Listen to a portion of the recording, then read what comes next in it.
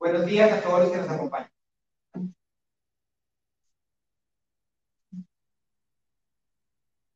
Bueno, ya mi señal la, la, la, dijimos hace un momento para que todos tengamos claro cómo es la señal del director.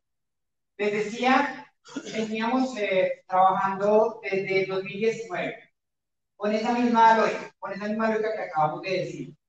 Las personas sordas son conscientes de que son sordos. Las personas oyentes de baja audición cierran el vídeo, ponen la música y no son conscientes de que son sordas para el entorno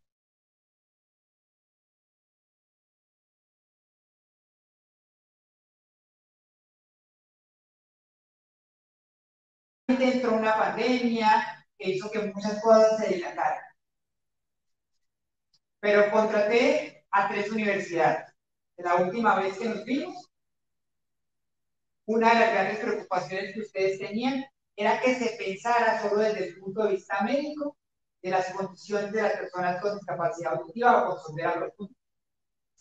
Y ustedes vieron y hoy nos van a acompañar las universidades para que nos cuenten cómo fue que tomaron en serio este proceso. También hace un año que nos encontramos acá, yo les decía, ya estoy trabajando sobre el transporte particular porque la tengo clara, porque sé que se puede hacer. Y yo no puedo prometer lo que no tenga la certeza de hacer. Este espacio, por ejemplo, le decía a don Henry, yo anoche no lo tenía. No sabía que podía tener ese espacio. Tenía el espacio de mi oficina, que es muy pequeño. Pero busqué un espacio más amplio y hasta hoy les digo porque hasta hoy lo tenía. No, quería, no quiero prometer nunca aquello que no tenga la certeza de hacer. Y entendiendo ello, hicimos todo el trabajo y publicamos en diciembre esa propuesta de resolución. Y entendimos también durante todos estos meses con sus representantes que había unos temas que no estábamos tomando bien, en particular el artículo 21 del Código Nacional de Tránsito. E hicimos las consultas necesarias para poder tener la claridad de cómo hacer esta tarea. Y ahí encontramos que efectivamente, como lo decía el señor que va a acompañar unas palabras en un momento, ustedes tenían razón. Ese artículo no aplica para ustedes porque no son limitados físicos, sino sensoriales. Yo le decía a don Henry ayer, cuando yo llegué, nada me obligaba a trabajar con la comunidad sorda. Nada. Pero escuché los derechos y las necesidades de una comunidad que llevaba mucho tiempo esperando este espacio. Y empecé a trabajar en ello. Pero consciente de eso, también dejé en conjunto con el ministerio, una propuesta, o más que una propuesta, una obligación para que se haga el tema del transporte público, porque hoy no tenemos toda la información para poder autorizar todas las licencias. Ya les vamos a contar el porqué. Pero le pusimos la obligación para que si nosotros nos tenemos que ir en cambio de gobierno, la siguiente persona que está aquí sentada tenga la obligación de hacer, que no quede en el aire, que quede la obligación. Y en segundo lugar, que además haya un tiempo. Entonces, le escuché ayer el live que hicieron a mediodía. Yo le decía a don Henry que se habían conectado 350 personas. Yo era una de esas 350 personas que estaba escuchando y estaba bien en Notiseñales. Y una de las grandes preocupaciones es el tiempo que ustedes plantean aquí. Yo quiero decirles dos cosas. Cuando uno está en el sector público, las cosas a veces no son tan rápidas como uno quisiera. Viene un cambio de gobierno, viene un plan de desarrollo, viene una serie de tareas que nos pueden alargar Y dejamos ese tiempo para que no haya excusas, para que no se alargue, para que no modifiquen la resolución cambiando el tiempo. Pero es el tiempo máximo que tiene que tener el siguiente director de la agencia para hacerlo nosotros ya empezamos a pensar cómo debería ser ese estudio, porque recordemos que sale de, una, de un concepto del Ministerio de Salud. Yo no quiero extenderme más el día de hoy, pero hoy les vamos a realizar qué sí es y qué no es la resolución, qué sí aplica, qué no aplica, para que tengamos claros todos cómo es que nos beneficiamos con esta resolución y cuáles son los pasos a seguir, porque lo más importante es lo que viene cómo llegamos a que la inclusión sea total para que esa comunidad, así como cualquier colombiano, tenga la posibilidad de acceder a una licencia de conducción. Eso es lo que vamos a hacer el día de hoy. ¿Cómo vamos a hacerlo? En primer lugar, nos va a saludar el señor viceministro de Transporte, que nos va a contar cómo se ha venido desarrollando parte de esta Nos van a acompañar las universidades que nos van a contar qué hicieron, por qué se decidió estos temas y cómo, si bien no somos los únicos países en América Latina que tienen este tipo de licencias, si la forma en que lo hicimos es una forma distinta, una forma, una forma en donde escuchamos a todo, pero además nos pasamos en investigación real y efectiva. Y en tercer lugar, vamos a contarles el, las particularidades de la resolución, para que ustedes lo tengan clara y podamos después, con don Henry, acordamos, acá haya posibilidad de preguntas y respuestas en función de esas claridades. Vamos a estar aquí un par de horas para que podamos tener, digamos, las posibilidades de entender de manera clara la resolución, lo que implica la resolución y cómo podemos dar esa continuidad al siguiente gobierno para que el transporte público también sea una realidad, si ello es posible, para la comunidad. Primero, muchas gracias por acompañarnos. Espero que sea una gran jornada pedagógica para que todos quedemos sobre la misma mesa, todos tengamos la claridad sobre los asuntos y podamos tener un gran día.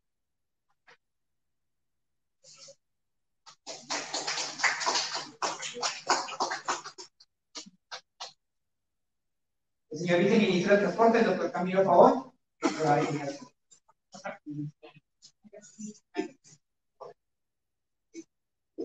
Un saludo muy cordial para el director de la Agencia Nacional de Seguridad Vial, el doctor Luis Pelota. Un saludo para nuestra consejera, la doctora Moreira, que nos ha acompañado en todo este proceso, que hoy también está acá con nosotros. También para la directora del ISOR, la doctora Natalia, que nos ha acompañado en todo el proceso, que ha estado también muy pendiente de las resultas, que hoy está acá con nosotros. A todos los equipos, tanto del Ministerio de Transporte como de la Agencia Nacional de Seguridad Vial, también un saludo muy especial a la academia que nos acompaña hoy desde la Universidad de los Andes. Muchas gracias por acompañarnos. Y un saludo para toda la comunidad que representa Penascol, quienes nos acompaña hoy acá en el auditorio, así como también a quienes nos acompañan por vía de streaming. Eh, excúsenme también un saludo muy especial a la personería, a la doctora Esmeralda y a su equipo que nos están acompañando el día de hoy y a las demás autoridades. Yo quisiera comenzar eh, esta muy breve intervención para pasar a lo sustancial, compartiéndoles la satisfacción, compartiéndoles la alegría que sentimos de poder estar acá con ustedes viendo una resolución que por lo menos a mí personalmente no me consta, pero entiendo toda la lucha que ustedes han tenido por 16 años para que lleguemos a ese punto. Por eso, como decía el director, además de agradecerles por ese trabajo, los felicito, creo que es algo necesario para el país. Estoy convencido, como está la señora ministra de Transporte y el Gobierno Nacional, de la importancia de la inclusión en el sector transporte para garantizar la accesibilidad, para garantizar que el transporte sirva para las necesidades de movilidad de todas las personas y en este caso particularmente para las personas que tienen una limitación sensorial como quienes nos acompañan el día de hoy. Dicho eso, y como parte de ese compromiso que asumió este gobierno, les vamos a presentar el resultado después de muchas mesas de trabajo, de muchas horas de trabajo, que además agradecemos a Perascol que tomó el tiempo de venir, muchas veces nos tocó virtual, otras que nos tocó eh, presencial, pero es un gran resultado de trabajo conjunto entre la comunidad y el Estado, y que además teníamos la convicción de que no nos podíamos ir el 7 de agosto sin dejar eso, para que no fuera a pasar lo que ustedes mismos nos han dicho que ha venido ocurriendo antes, y por eso, cuando nos reunimos hace un par de días con FENASCOL y con la comunidad, les dijimos que íbamos a continuar trabajando en dos niveles. Uno primero, que les garantizábamos que la resolución se expedía, y eso ya se cumplió. Y lo segundo, que teníamos que trabajar en comunicaciones, para lo cual vamos a seguir articulados, porque tenemos que trabajar en la comunicación hacia la comunidad de personas sordas, pero también en comunicación para todas las demás personas de la comunidad que no son sordas, para que entiendan por qué esto no representa un peligro, porque esto al contrario es parte de lo que el país estaba en hora de realizar como parte de esas tareas de accesibilidad y de inclusión que tenemos como país. Y esas tareas de comunicaciones las vamos a continuar trabajando. El trabajo no para hoy. Hoy es un momento importante, pero que nos marca una línea de trabajo con toda la sociedad colombiana muy importante y también un trabajo que con el lineamiento que nos ha dado el Ministerio de Salud, con ese enfoque biopsicosocial, vamos a tener que continuar para que lleguemos al punto de las licencias de servicio público en un futuro muy cercano. Entonces, eh, cierro con esto, nuevamente agradeciéndoles por acompañarnos, agradeciéndole a FENASCOL por el esfuerzo que ha hecho en este, eh, en este periodo, que ha trabajado con nosotros muy arduamente para lograr este resultado, felicitándolos a todos los eh, miembros de la comunidad por este logro y comprometiéndonos con avanzar en las dos líneas que mencioné anteriormente. Muchas gracias.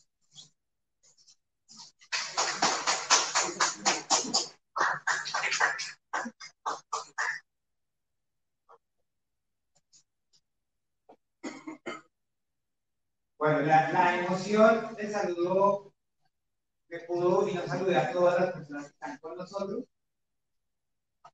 Pero pues saludos a la consejería, a todas las personas de la Universidad de Los Ángeles, al INSOR, a la, a la policía que también nos ha acompañado, a, a la personería de la doctora Esmeralda, con la que nos hace tiempo que hemos venido desarrollando estas tareas. Bien, mira, todos están aquí.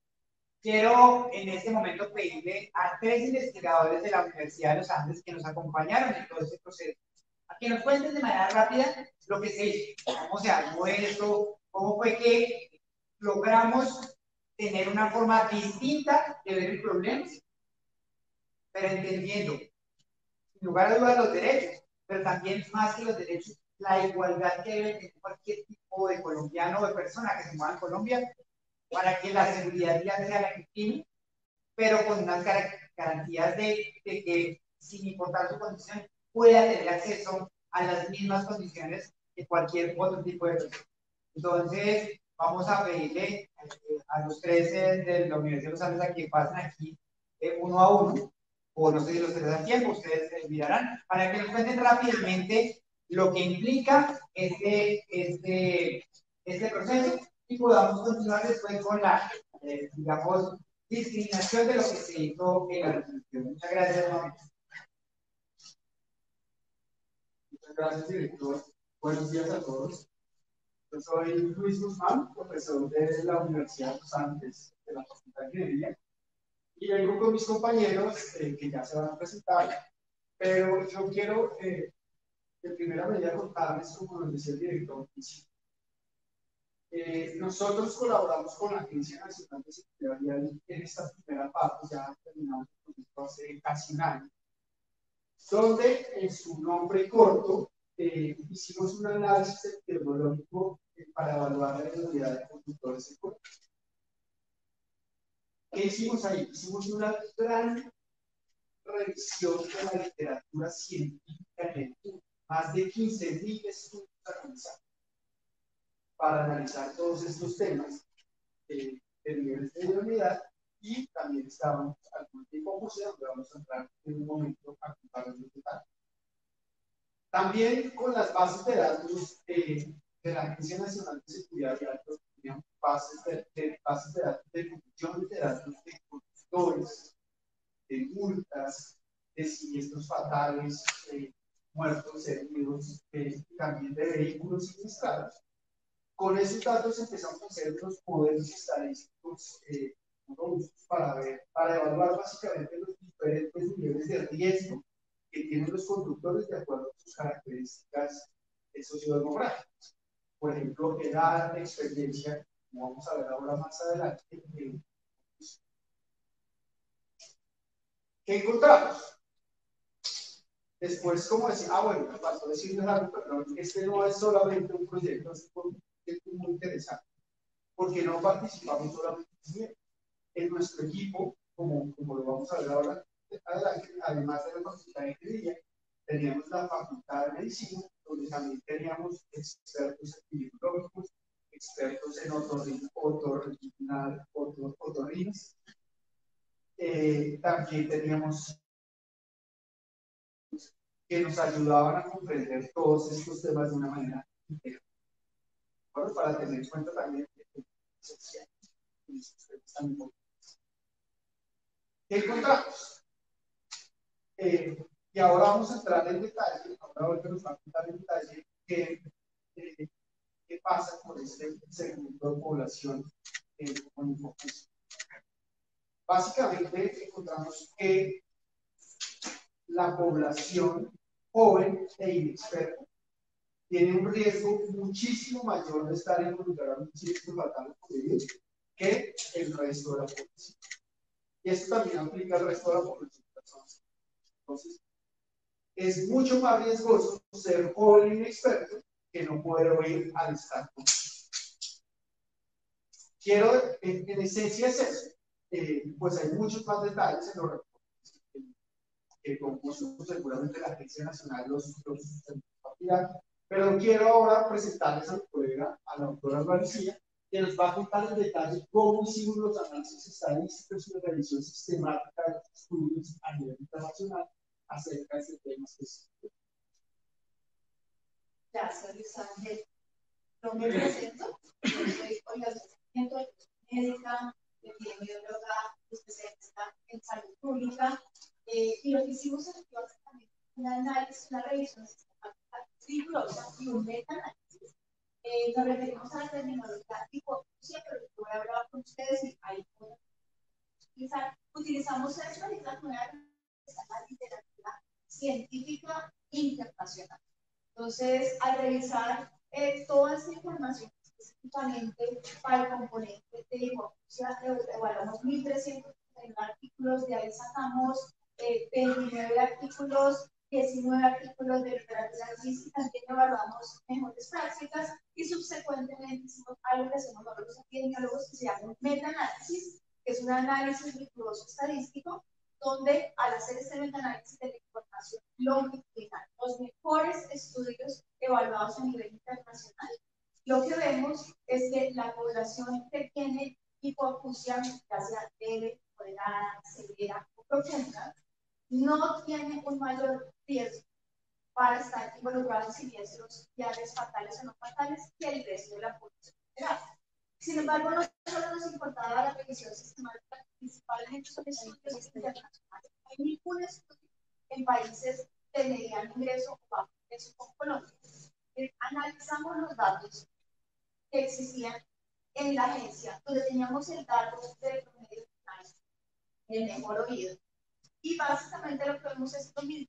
Cuando analizamos la población con hipofusia, la población con hipofusia no tiene un mayor riesgo de estar en síntomas sociales, tasas fatales o no fatales que el resto de la población general. Es por eso que nuestra recomendación para lo que es el licenciamiento de vehículos particulares, que es para lo que tenemos evidencia, tenemos evidencia para otro tipo de vehículos, porque la evidencia disponible a nivel tanto local como a nivel internacional. Es por esa razón que nuestra recomendación era que no se requieren eh, eh, lo que nos requería eh, un licenciamiento especial para la población que tenga hipótesis. Entonces, ese es el análisis estadístico y la previsión sistemática que se realiza rigurosamente durante este tiempo para llevar a esta evidencia que es la que aporta la resolución gracias y para el cierre, le voy a dar la palabra a la En realidad, trabajo con la Universidad Javeriana, hice parte del equipo de trabajo de la Universidad de los Andes, de ingeniería y de eh, medicina, área de epidemiología que, que dirige la doctora Lucía y en el área de ingeniería el, doctor Luis Sánchez. Y pues simplemente reforzar la conclusión que acaba de indicar la doctora Olga Lucía, la evidencia internacional no es contundente, no muestra ningún riesgo más alto para la población con hipoacusia que para la población general, riesgo de siniestralidad, y eso eh, hizo parte de nuestra recomendación. Y además hicimos una revisión de prácticas en varios países y la práctica está con vehículos particulares, en la cual no se establece una diferenciación para esta población. Básicamente, datos de Australia, eh, esas buenas prácticas internacionales. Estas prácticas están asociadas a vehículos particulares. Entonces, pues eh, hasta ahí llegó nuestra recomendación como investigadores.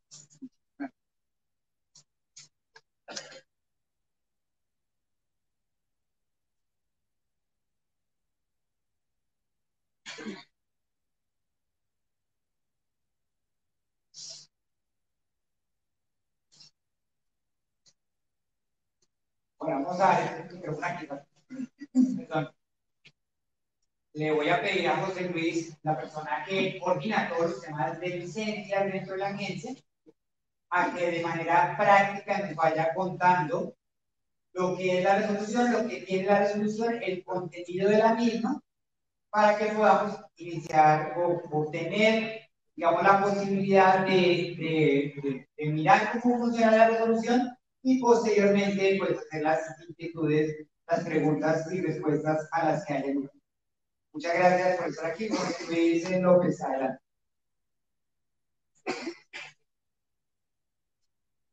Muchas gracias, director. Buenos días a todos. Gracias a ustedes. Mi nombre es José Luis López Trabajo entonces, el objetivo de esta parte esta reunión es presentar a partir de las conclusiones que se del estudio de la Universidad de Los Ángeles, cómo eso se ve reflejado en la resolución que, se estudió de mayo, que ajusta lo que es la resolución 217 del 2014. Vamos a ir poco a poco mirando cada uno de los puntos y en ese sentido, digamos, la, pues, claro a todos cuáles son esos elementos que contiene esta nueva resolución. La siguiente. Gracias. recordemos, esto es muy importante. Basados en la revisión, en la evidencia técnica y la evidencia científica exposada por la Universidad de Los se pide la resolución 30, 3, 355 del 31 de mayo del 2020 ¿Qué contiene esta nueva resolución? Un primer punto. Hablemos de qué es lo que sucede para vehículos particulares. Esto es muy importante. Las personas con pérdida auditiva mayor a 80 decibeles para, insisto, vehículos particulares en comparación a lo que teníamos en la normatividad anterior, en este caso, sí podrán acceder a la licencia de conducción para vehículos particulares. Es decir, podrán acceder al respectivo trámite para obtener su licencia de conducción. Cuando hablamos nosotros de vehículos particulares, estamos hablando de motocicletas y automóviles. Esa es una, primera conclusión a partir de los elementos de la Universidad de los y que se ve reflejada en el articulado de la resolución 30.355 del 2020. Segundo punto. ¿Qué sucede con las personas que tienen pérdida auditiva entre 1 y 40 decibeles? Son cuatro elementos que tenemos que tomar en cuenta. A diferencia de la normatividad anterior, estas personas pueden conducir sin uso del implante coclear, audífonos, amplificadores y demás. Importante. Vuelvo y lo repito personas con pérdida auditiva de 1 y 40 decibeles no tendrán que usar una eh, ayuda, ninguna ayuda auditiva. Eso es uno de los elementos fundamentales que se incluyen como mejoras al modelo de licencia. En segundo lugar, también, a diferencia del modelo anterior, pueden conducir sin controles auditivos periódicos. También es bastante importante y emana de las conclusiones de la Universidad de Los Ángeles. Ustedes recordarán que para el ejercicio para, para los eh, vehículos particulares, en la anterior normatividad, se les solicitaba que tuvieran uso de, uso de audífonos y adicionalmente controles auditivos periódicos. En la nueva resolución para personas con pérdida auditiva entre 1 y 40 decibeles, no necesitarán ningún audífono y adicionalmente no necesitarán controles auditivos periódicos. Dos elementos adicionales. Eh, no necesitan espejos auxiliares. Eso es muy importante. Para las personas que tengan pérdida auditiva de 1 a 40 decibeles y tampoco tendrán que portar en su vehículo el tipo internacional. Esto pasa, insisto, los cuatro puntos mencionados hasta el momento son para uh, pérdida de audición de 1 a 40 decibeles. Entonces ya hemos esbozado dos grandes elementos que contiene la nueva resolución y hemos comparado y hemos establecido acá los cambios eh, respecto a la resolución anterior. Ahora, ¿qué pasa para las personas con eh, pérdida auditiva de 41 decibeles en adelante? Que incluye niveles como sordera, eh, la sordera profunda. Es muy importante, recordemos, para vehículo particular se les permite el acceso al trámite de la Pero miremos entonces una persona que tenga un nivel, un, nivel de pérdida auditiva de 42 decibeles, 50 decibeles, 80 o 90 decibeles. Ellos, en particular, eh, ambos. Y este también es un cambio. Tampoco tendrán que conducir con ayuda auditiva.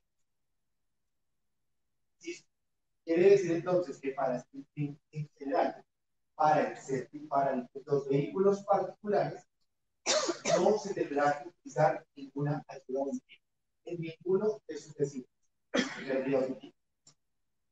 En segundo lugar, tampoco estas personas tendrán que eh, acudir o realizar controles auditivos periódicos. La gran conclusión entonces, que para servicio particular, pues ninguna pérdida auditiva en ningún decibel 1, 20, 30, 50, 90 en adelante, tendrán que utilizar o ir a hacerse controles eh, Dos elementos que aplican para pérdidas auditivas de 41 decibeles en adelante. Deben conducir con espejos auxiliares y ahorita vamos a explicar un poco más. Pero es para dejarlo posado. Si una persona que tenga una pérdida auditiva de 42 decibeles, 43 adelante, tendrá que conducir con este tipo de espejos Y adicionalmente, portará en un lugar visible automóvil, en la motocicleta, el símbolo internacional de sordera y papucio o de comunicación. Un poco para aclarar qué sucede con los espejos auxiliares. Son espejos que ayudan a ampliar el campo de visión, tanto en las motocicletas como en los vehículos particulares, los automóviles. En el caso de los vehículos eh, particulares, tendrán que tener un espejo convexo, un espejo redondo, tanto en el frontal como unos espejos en los espejos laterales adicionales. Convexos, son estos espejos redondos, que les van a permitir tener un mayor campo de visión. Para el caso de las motocicletas, aplicará que se tienen que incluir espejos convexos adicionales laterales.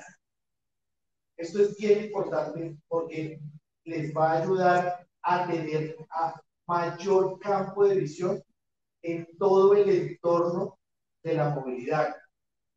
Y es muy importante acá la corresponsabilidad que nosotros vamos a tener peatones, con los ciclistas, con los motociclistas, con los demás actores viales.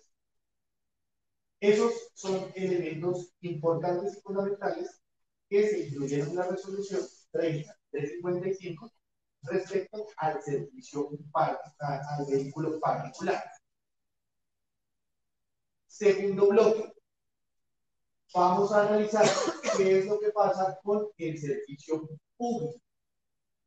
El servicio público, es decir, licencias de conducción C1, C2, C3, se mantienen las condiciones actuales, incluyendo el portar el símbolo de manera visible un automóvil, el símbolo internacional de, de y confusión o dificultad de comunicación.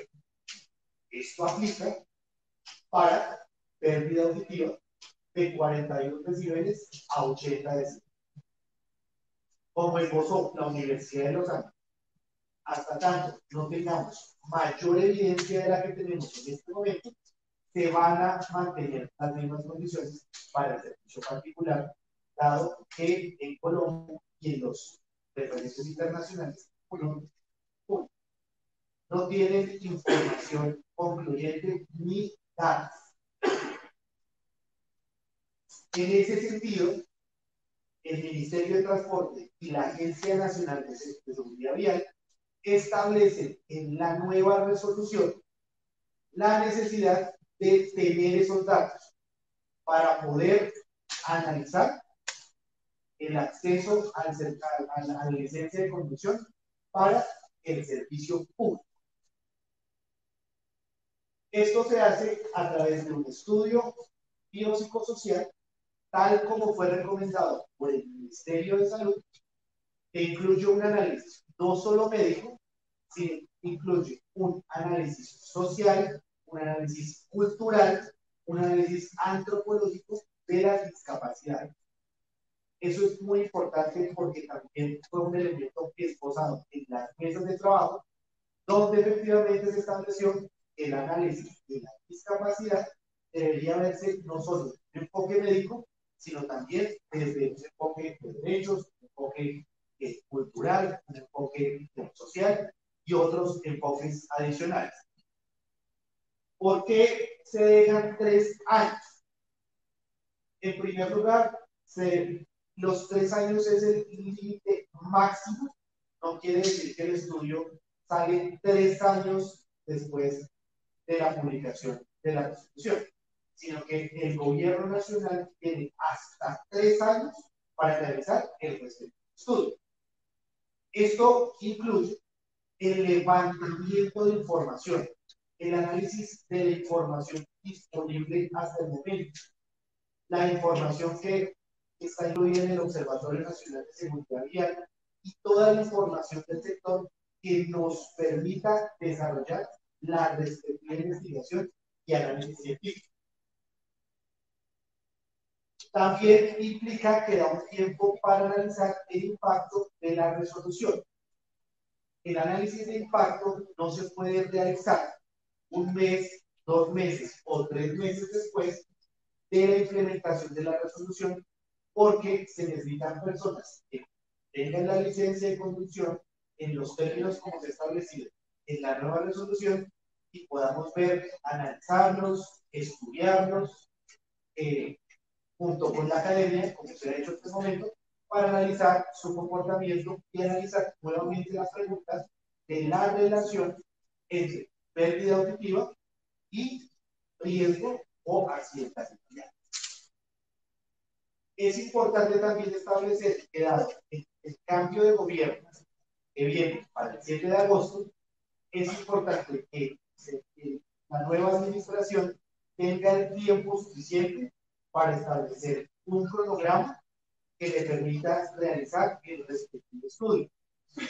También es el tiempo necesario para que se establezca el nuevo Plan Nacional de Desarrollo. Y en ese sentido, se hagan las respectivas contrataciones. Y en estos tres años, también eh, incluye el trabajo con la persona.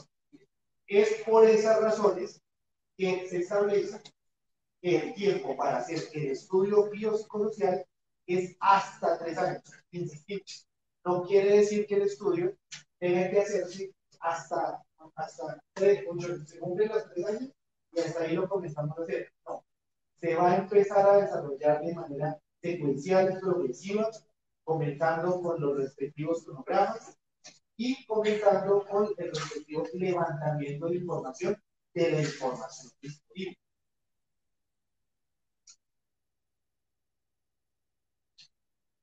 Un, un, tercer bloque importante que contiene esta nueva resolución, adicionalmente a lo que establece el servicio de los vehículos particulares y el servicio público, es lo que corresponde a los ajustes razonables que tendrán que hacer en un plazo máximo de un año, tanto las autoridades de tránsito como los organismos de apoyo al tránsito.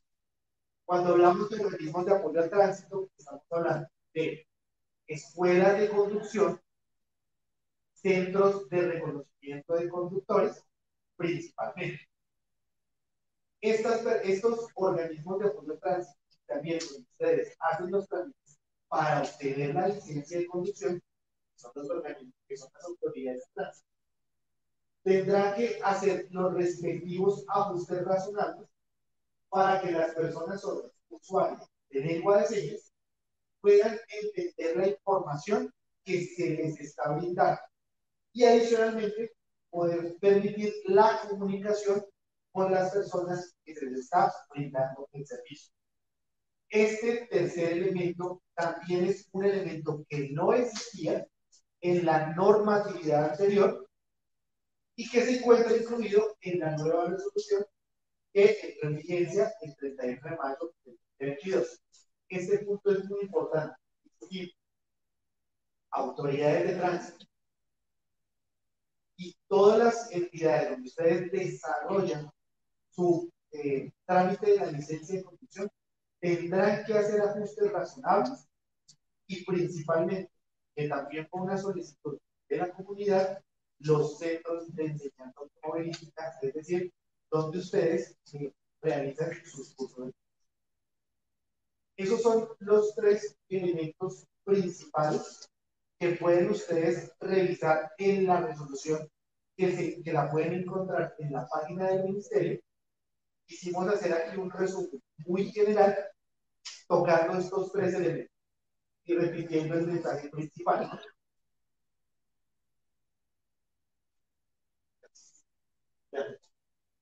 Para vehículos particulares, se le está permitiendo el acceso al trámite de la licencia a toda persona independientemente de su pérdida, de su nivel de pérdida auditiva.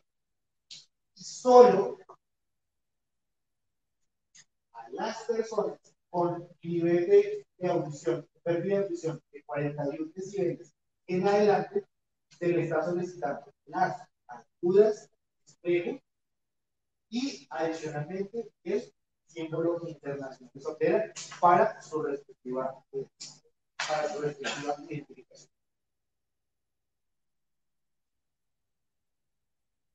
Hasta acá la presentación que teníamos sobre los elementos gruesos de la respectiva resolución. El director tiene unos instantes nos vuelve a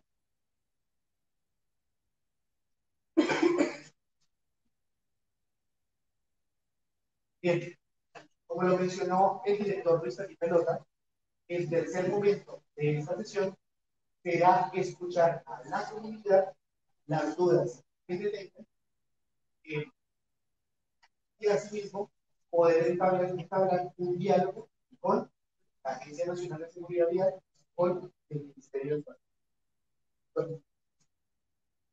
Vamos a, estamos haciendo un, un pequeño mensaje con don Henry va a seguir Don Henry y luego hacemos las preguntas. Denos dos minutos. Este espacio que tuvimos de pausa no quiere decir que no te vayan a responder preguntas temas por el estilo. Solamente estábamos haciendo una pequeña pausa. Grabamos un pequeño video con Don Henry. Yo decía en ese video que es con hechos que cumplir. Es con ellos que incluimos a la comunidad en estos temas. Ya está la resolución en fin. No es como nos decía en muchas reuniones don Henry, que ya va a salir. Ya salió. Ya está en fin. Ya no hay como echar atrás eso. Porque el gobierno le cumple a la comunidad.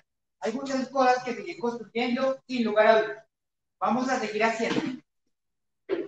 Yo, en particular, señor viceministro, el equipo de la consejería, los demás miembros que hacen parte de la consejería atados al Comité Nacional de Discapacidad van a seguir acompañando. Todo el equipo de la Agencia Nacional de Seguridad va a seguir aquí acompañando.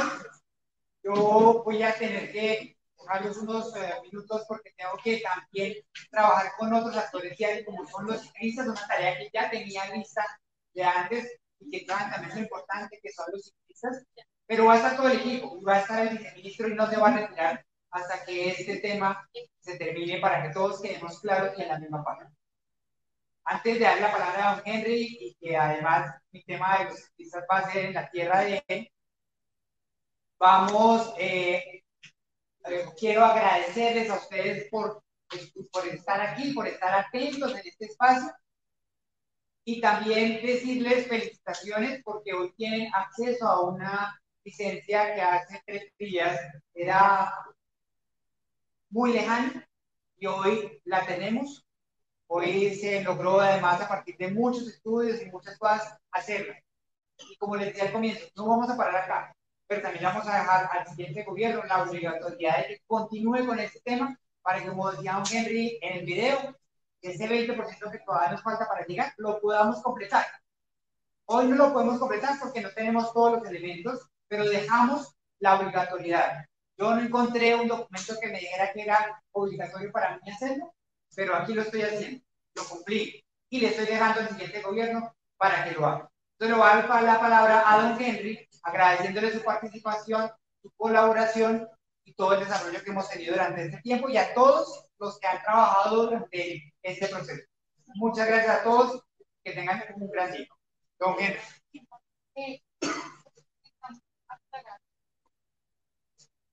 ¿Qué, ¿Cuál es el orden de la actividad? ¿Qué tú vas a la oficina? No, esperen un va, segundo. va a saludar a don Henry. Va a saludar a don Henry. Va a saludar a don Henry. Y después vamos a tener las preguntas para poder dar respuestas a las que haya de la comunidad. Primero saludo a don Henry y luego van las preguntas. ¿Estamos todos en la misma página? Bueno, un gran día para todos.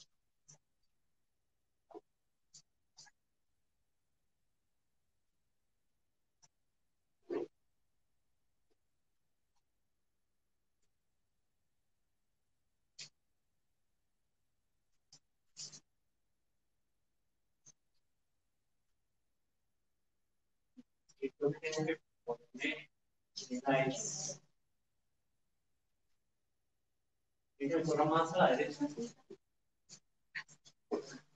Que no me ven. No me ven. No sé, ¿ustedes me ven bien? Es que yo soy chiquito.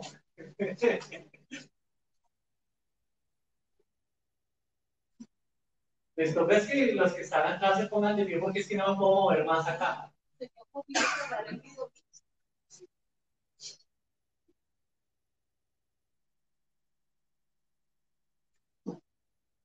También aquí hay una cámara para el vivo, es por eso. Listo, ya ustedes allá se corren. Bien. Ok, nada. Eh, muy buenos días a todas y todos. No puedo saludarlos, saludarlas por nombre, por cargo. Creo que ya lo hicieron quienes me precedieron.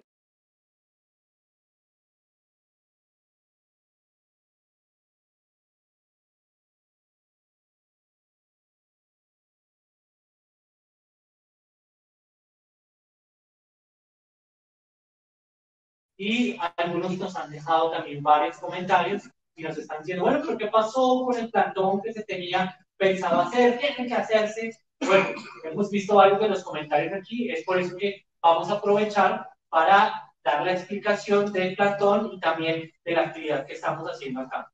Ustedes saben que como sociedad civil, como nosotros, como representantes de la sociedad civil, habíamos hablado que se iba a hacer ese plantón. La verdad es que no sabíamos que la resolución se tenía ya lista para su promulgación. Nosotros tuvimos una reunión el martes pasado y en la reunión del martes nos dijeron a nosotros que esta semana iba a salir la resolución.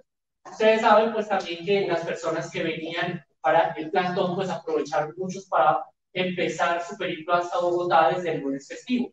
Entonces, de allí, pues que les vamos a responder a todos los que nos están preguntando desde el Facebook Live, pues que se tenía que hacer este plantón.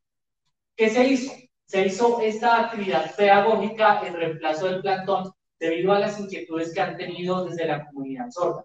El objetivo que queremos nosotros es hablar acerca de qué está pasando, acerca de la licencia pública, entiéndase taxi, eh, buses, camiones y demás.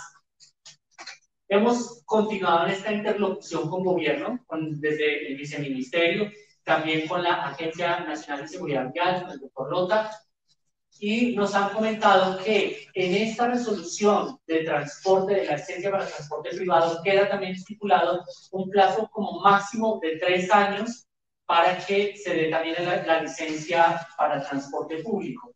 ¿Qué quiere decir?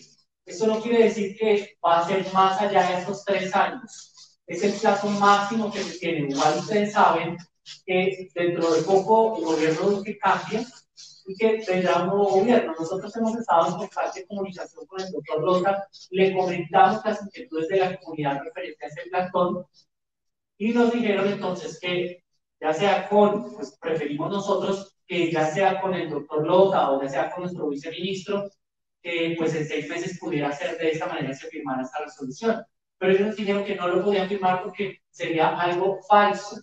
Cuando se tenga el nuevo gobierno, este nuevo gobierno va a decir, perdón, nosotros no firmamos nada de eso, esto no es algo que nos corresponda a nosotros. Es por eso que ese plantón pues no tendría esa razón en ese momento. Claramente, la resolución para el transporte privado pues ya es un gran avance, es casi el 80%, del 80% de las tareas que nosotros nos habíamos trazado. Ya nosotros para el día de hoy tenemos aproximadamente 20 personas que vinieron desde Florencia a Caquetá y que se han sumado a muchas más personas por las que están acá. Y personas que, cuya licencia había vencido y que pues tienen una gran preocupación porque se están movilizando con esta licencia vencida y que se están enfrentando a muchas cosas que pueden suceder con su licencia. Ya lo tenemos, se ha expedido frente a la licencia de transporte particular Varios de ustedes nos habían mencionado que qué iban a hacer aquellos que se les estaban venciendo sus licencias. La respuesta es que frente al transporte particular ya lo pueden tener. ¿Qué va a pasar entonces? Hay que esperar cuando venga este nuevo gobierno que reemplaza desde el 7 de agosto, que esas uh, situaciones que se han venido presentando desde la, desde la comunidad, algunos dirán queremos que venga Petro, algunos dirán queremos que venga Rodolfo, pues al nuevo gobierno que venga hay que presentarle esta situación, sea cual sea el gobierno, que se comprometa desde ese plan de desarrollo, así como muy bien lo decía el director de la ANSB, esto debe incluirse en el plan de desarrollo. Para este nuevo gobierno que venga durante los cuatro años de su vigencia, debe comprometerse a sacar el proceso de licenciamiento de eh, la licencia de transporte público este trabajo que se va a hacer con cambio de gobierno, posterior a este cambio de gobierno, tiene que hacerse de manera expedita.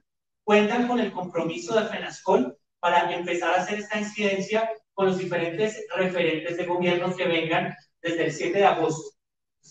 No lo vamos a hacer esperar a que cuando venga el nuevo gobierno, pues vamos a darles mucho más tiempo. No.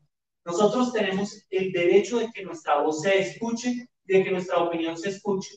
Así que cuando se tengan este nuevo estamento de gobierno, los nuevos referentes, vamos a buscar establecer esa cita y buscar establecer el cronograma claro para el tiempo que se ha dado allí en la nueva resolución. Como viceministro lo comentó, allí ya queda datada en la resolución de transporte particular tres años. ¿Quiere decir esto que se tienen que tomar los tres años? No necesariamente. Puede salir en menos de tres años. Y es por eso que buscamos el compromiso también de ustedes como comunidad sorda para que sigamos movilizando este tema. Entendemos que hay este cambio de gobierno, pero necesitamos del compromiso de ustedes y que también ustedes le comenten a las personas que están dejándonos sus inquietudes aquí en el Facebook Live, que ustedes están acá, que se van a dejar las preguntas en este taller. Muchas de las inquietudes que varios tienen en este momento, pues las vamos a ver reflejadas en este taller. Algunos, por ejemplo, nos están diciendo, bueno, ¿y qué pasa si yo tengo mi licencia, pero estoy conduciendo un carro prestado? un carro de algún familiar, de mi padre, de mi madre, que no tiene las adecuaciones referentes a los espejos y todo lo demás que se nos está explicando acá. Este va a ser el espacio para que ustedes mismos lo puedan preguntar con los referentes que hay acá. Queremos dar este parte de tranquilidad, dar esta comunicación, porque hemos tenido varias comunicaciones en CCTV, en varios otros espacios, pues queremos comentarles a ustedes que la resolución que se tiene, pues en ese momento se dijo en algunos espacios que era una resolución pionera, pero nosotros queremos comentarles también a gobierno que no es una resolución pionera, que es algo que ya la comunidad sorda tenía desde hace mucho tiempo, pero que cambió a partir de un anexo que se expidió hace unos años. Así que no es una resolución pionera para la comunidad sorda puede ser que se dé un mensaje malentendido para las personas oyentes que puedan empezar a pensar que a partir de ese momento las personas sordas pueden conducir. No, ya las personas sordas, la comunidad sorda tenía esa licencia, hay personas sordas, adultos sordos mayores que ya contaban con ella, pero que a partir de ese anexo que se publicó hace unos años, pues cambió la situación. No sé de dónde salió la información, pero también en los periodistas pues dijeron que Colombia era pionera en América Latina acerca de la expedición de esto. Nosotros les comentamos claramente en las mesas técnicas que a nosotros nos daba vergüenza de que Colombia estuviera en esta posición en la que no se tuviera esta resolución o que existieran estas barreras. Porque nosotros como miembros de la Federación Mundial de Sordos, la WFD, habíamos llegado a los documentos respectivos sobre la situación de la comunidad sorda en países como Argentina, Paraguay, Bolivia, que hace unos dos, tres años también, incluso nos ganó Bolivia.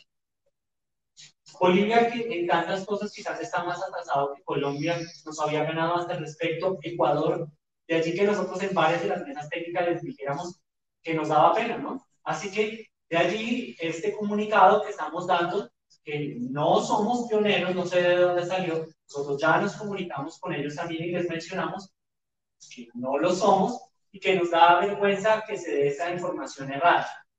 Casi que terminamos siendo los últimos en América Latina, pero es una lucha de la comunidad sorda, una lucha que se ha venido dando durante muchos años, desde toda la comunidad, contando con FENASCO, la Federación Nacional de Sordos de Colombia, como voceros. Nosotros nos a nosotros nos preocupó mucho las críticas de la misma comunidad cuando veían que no estaba pasando nada y que nos decían, pero es que Fenascol está dormido, pero es que Fenascol no está gestionando, pero es que Fenascol no está serio. Y siempre vemos a José Leal, a Henry Mejía, a Daniel Ocampo, que están allí. Parece que ellos están allí, es como consintiendo más, más bien al gobierno, como que no están siendo nuestra voz, no están dando lo que nosotros estamos haciendo, ¿sí o no? Ustedes que están acá varias veces nos criticaron y nos dijeron eso. Pero nosotros por eso dijimos, ok, no lo vamos a hacer solo nosotros y va a haber un comité de plantón. Ahí estuvo, por ejemplo, Antibel, que viene desde Florencia, Caquetá, para que vivieran la situación y se dieran cuenta de eso. Sandra Rojas también estuvo con nosotros en este comité y se han podido dar cuenta de lo que ha sido este trabajo mancomunado con gobierno, con las diferentes agencias. Logramos esta resolución, pero nos queda como ese sabor agridulce, ¿no? Porque nos falta ese 20% de avance que es para nosotros tema de la licencia de transporte público, porque de allí depende el trabajo de muchas personas sordas.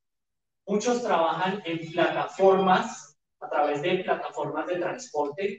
También muchos trabajan como domiciliarios y requieren también de esta licencia, por ejemplo, en Rappi, en Didi, en muchas otras um, plataformas que exigen de ese tipo de licencia y que al tener el vencimiento de la licencia de transporte público, pues se ven afectados a este respecto. les repito, tenemos cambio de gobierno. El día tengamos este cambio de gobierno, iniciaremos de manera expedita los contactos para que esto pueda retomarse y se pueda hacer de la mejor manera y que no tengamos que esperar esos tres años. Sé que muchos de ustedes dirán, ay, no, pero otra vez vamos a tener que esperar. Llevamos 16 años esperando y ahora muchos más años para que se dé el transporte público, pues los entendemos, pero también queremos que nos entiendan a nosotros en este proceso de incidencia que venimos haciendo con el gobierno nacional.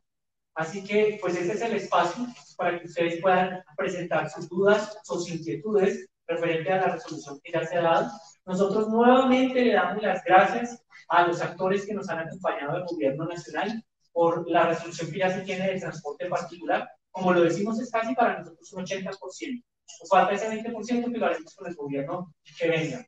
Queremos darle las gracias también a los casi, bueno, ya ha aumentado el número, 325 personas que nos están acompañando en nuestro Facebook Live, que están pendientes de esta situación y que seguramente tienen la misma preocupación de todos nosotros, de todos los que están acá. Así que no son solamente los 325, sino los que están acá, los que están en otros espacios, casi 400 personas. Queremos darle las gracias y pedirles que seamos positivos, que cambiemos ese negativismo más bien por positivismo y darnos, darnos cuenta que estamos cerca de ese 100% de alcanzar el número que nos, nos propusimos.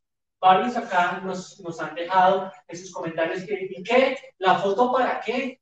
Pero ¿en qué quedó en toda nuestra lucha? Bueno, la respuesta es que es esa foto del recuerdo de lo que hemos alcanzado ya, de la resolución de transporte particular.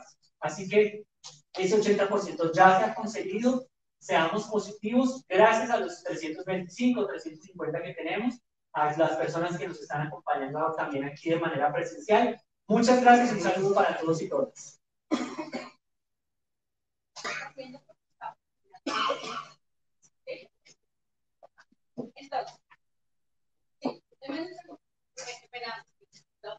pero las personas que están acá que van a dar respuesta. Les vamos a pedir, por favor, presente que esta colección pues, este es un ejemplo porque es muy importante para que haya claridad de información, que niveles son vamos y se van a instalar. El equipo del ministerio también está recibiendo preguntas en Facebook. Si no alguna, no lo pasen las preguntas. Como tenemos varias tomas,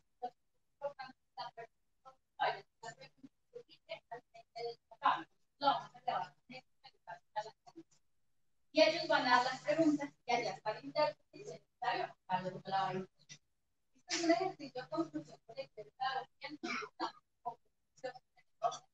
y en la tarea de las preguntas. Somos un trabajo en respuesta a como Canacol tenemos trabajar en el ministerio. ¿Estamos de acuerdo? ¿Están todos de acuerdo conmigo? ¿Listo? Entonces, si, si quieren primero, los conocemos que nos organizar. ¿Quiénes les van a responder las preguntas que van a un poco más alto. Gracias. Buenos días. Mi nombre es Angélica Bendaño, Oficina Jurídica de la Agencia Nacional de Seguridad Vial.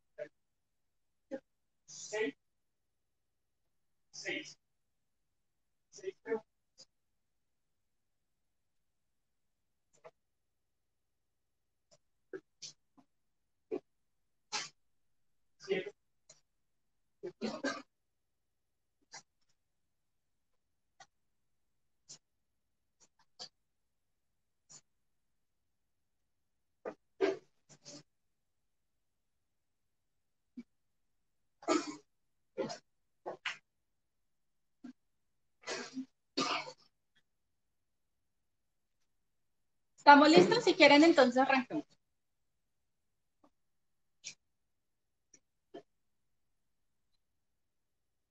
Hola, muy buenos días a todos y a todas. Gracias a todas las personas que han venido del ministerio, de la agencia, también a toda la comunidad que se ha desplazado hasta el lugar, desde varios rincones de Colombia, desde Florencia, desde Manizales. Mi nombre es Robert. Mi apellido es Pena, Robert Pena, estoy de acá de Bogotá. Quiero comentarles que desde hace 27 años soy conductor, soy un conductor experimentado, tanto en el ámbito privado como en el transporte público. Desde hace pues varios años tengo mi licencia y el hecho de que se haya hecho este cambio en el anexo, pues eh, la verdad es que nos ha afectado mucho, licenciamente para este año 2022, en enero de este la licencia de transporte privado, pues eh, la tengo contado con ella gracias también al apoyo de mi padre, que me ha acompañado también a los centros de reconocimiento. Para mí fue de gran alegría saber que se tiene ya la reconstrucción en el ámbito privado, pero pues me dio ese sabor a dulce también cuanto al ámbito público.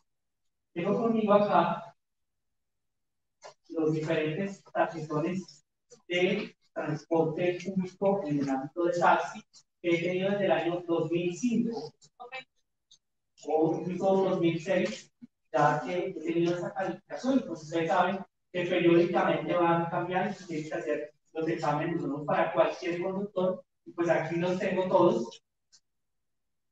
Para 2020, más o menos, que empezó toda la situación del COVID, pues eh, tuve que. Fue un poco complicado para mí por el hecho del tapabocas, pero bueno, eh, me he comunicado de una manera diferente con mis pasajeros.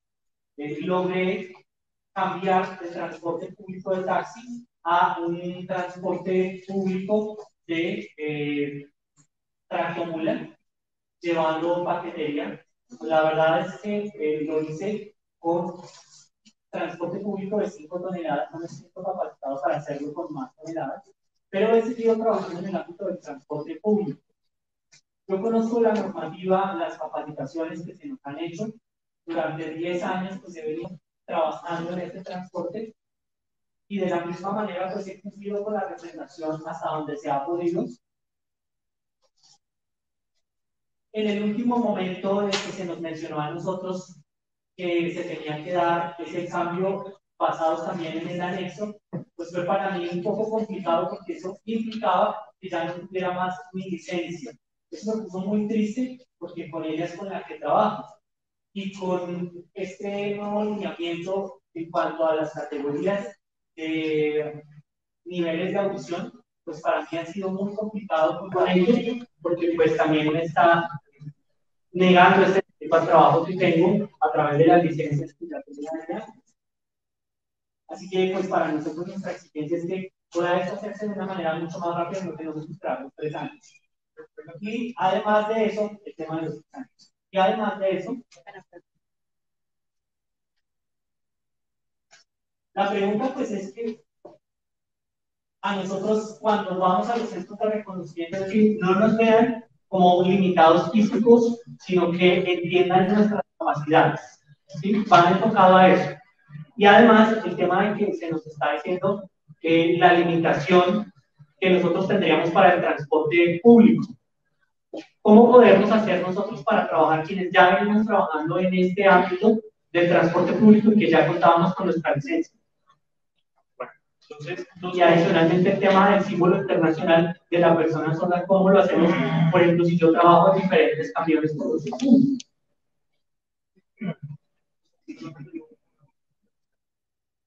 Eh, lo, lo primero es el tema de trabajar con los organismos de apoyo al tránsito, como son los centros de reconocimiento de conductores. Ese delo, eh, gracias. Ahí. Ese eh, delo por hecho, porque eh, de hecho voy a salir de esta reunión, le vamos a pedir a la Superintendencia de Transporte que tiene un equipo dedicado solo a temas de prevención y de promoción y que trabaja con los centros de reconocimiento, le vamos a pedir que haga las respectivas capacitaciones con los centros de reconocimiento, incluyendo lo que ya nos contestó el Ministerio de Salud, más el material que la Consejería nos ha compartido, el INSOR y Penascol, para que no los vean desde la limitación física, porque hoy tenemos claro que no es una limitación física. Entonces cuenten con esa campaña de socialización con los centros de reconocimiento, como lo habíamos mencionado también con el resto de la sociedad. En el tema de transporte público, yo entiendo que ustedes quisieran más. Lo que les estamos diciendo hoy es que vamos en ese camino y que vamos muy bien con ese camino, porque ya tenemos insumos y una línea desde el Ministerio de Salud. Tenemos un tiempo máximo, pero ahí además les hago la sugerencia, ustedes son una comunidad muy importante y tienen que sentarse con el nuevo gobierno apenas llegue porque no se deberían tomar los tres años si no es necesario. Si resulta que es necesario porque el estudio dijo que necesitaba tres años, pues, pero no necesariamente. Entonces, sí es importante que tan pronto llegue el gobierno nuevo, ustedes como comunidad se sienten para trabajar en esa línea que estamos dejando de la mano con Penascol y con ustedes. No sé si hay algo para agregar el tema de ¿Alguien quiere Creo que, Robert, enfatizar el mensaje que se visto, y es que efectivamente esto, este estudio nos va a ayudar a lograr el respectivo acceso con la información pertinente. Esto es muy importante. Entonces, como dijo el viceministro, lo más clave y fundamental será trabajar con la nueva administración para que este compromiso, que no solo este compromiso de un acta de gobierno, sino queda firme que el acto de resolución se haga lo más pronto posible. Ya, con ese respectivo estudio, se haga lo correspondiente.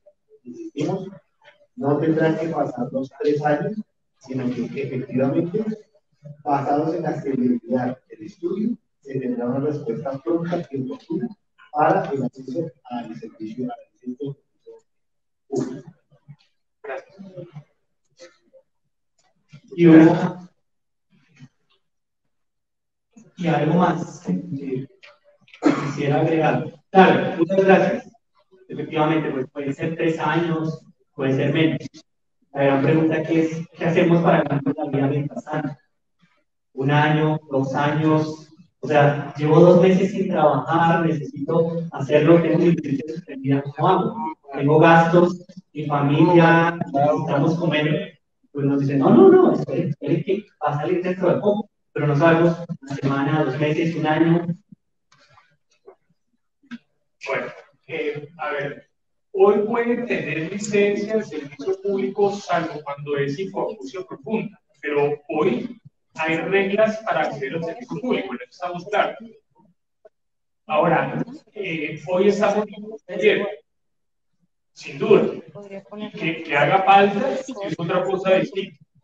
Pero todos los colombianos y también los que no son colombianos pero que viven en el país, tenemos que cumplir las reglas que están vigentes. Entonces, yo no les podría decir, y yo sé que ustedes me entienden, yo sé que no les podría eh, decir que incumplamos las normas porque realmente todos tenemos que cumplirlas, pero con el compromiso y la línea de que vamos por buen camino con lo que se ha logrado hoy, estamos mejor que ayer.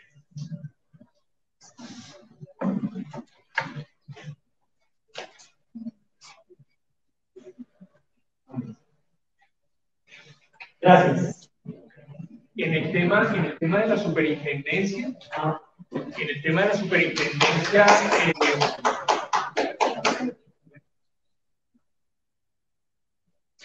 están también parte de, de las pruebas que tengo. Soy consultor de público. Bueno, muchas gracias. En el tema, en el tema de la super, Henry, en el tema de la superintendencia de transporte, eh, le propongo que coordinemos una reunión porque ese trabajo con los centros de reconocimiento deberíamos involucrar a la superintendencia rápido, ¿sí? Y, pues obviamente con el acompañamiento que siempre nos ha brindado la Agencia Nacional de Seguridad Vial. Entonces se queda como tarea para que la trabajemos.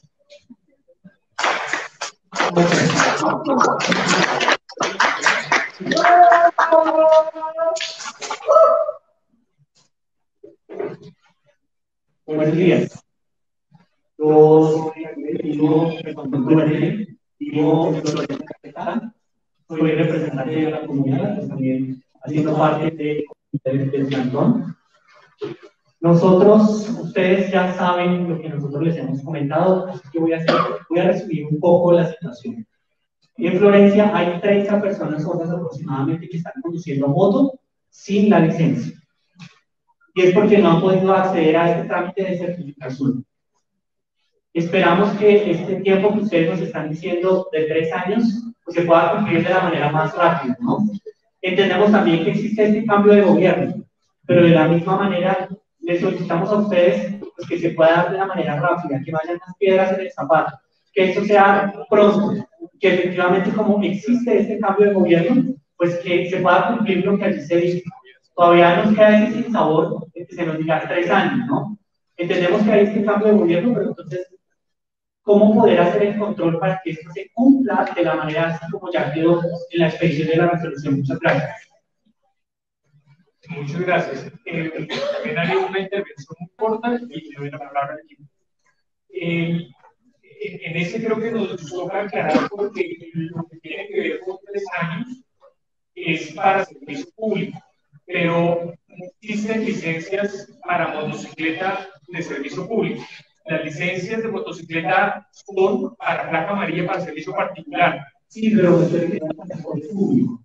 ¿Perdón? Ah, sí, sí, lo de las motos lo tengo presente, pero el tema es el transporte público, lo que se decía de eh, y demás. Ah, ok.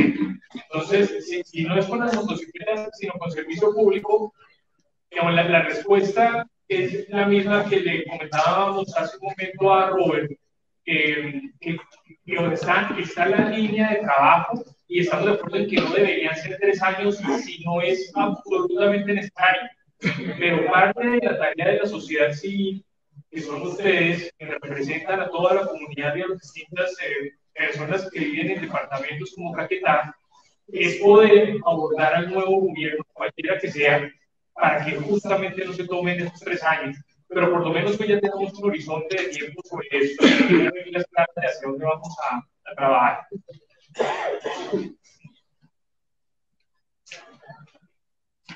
Ojalá, no sé si comprende mi tía tomar la palabra. Que quisiera algo más también frente a eso.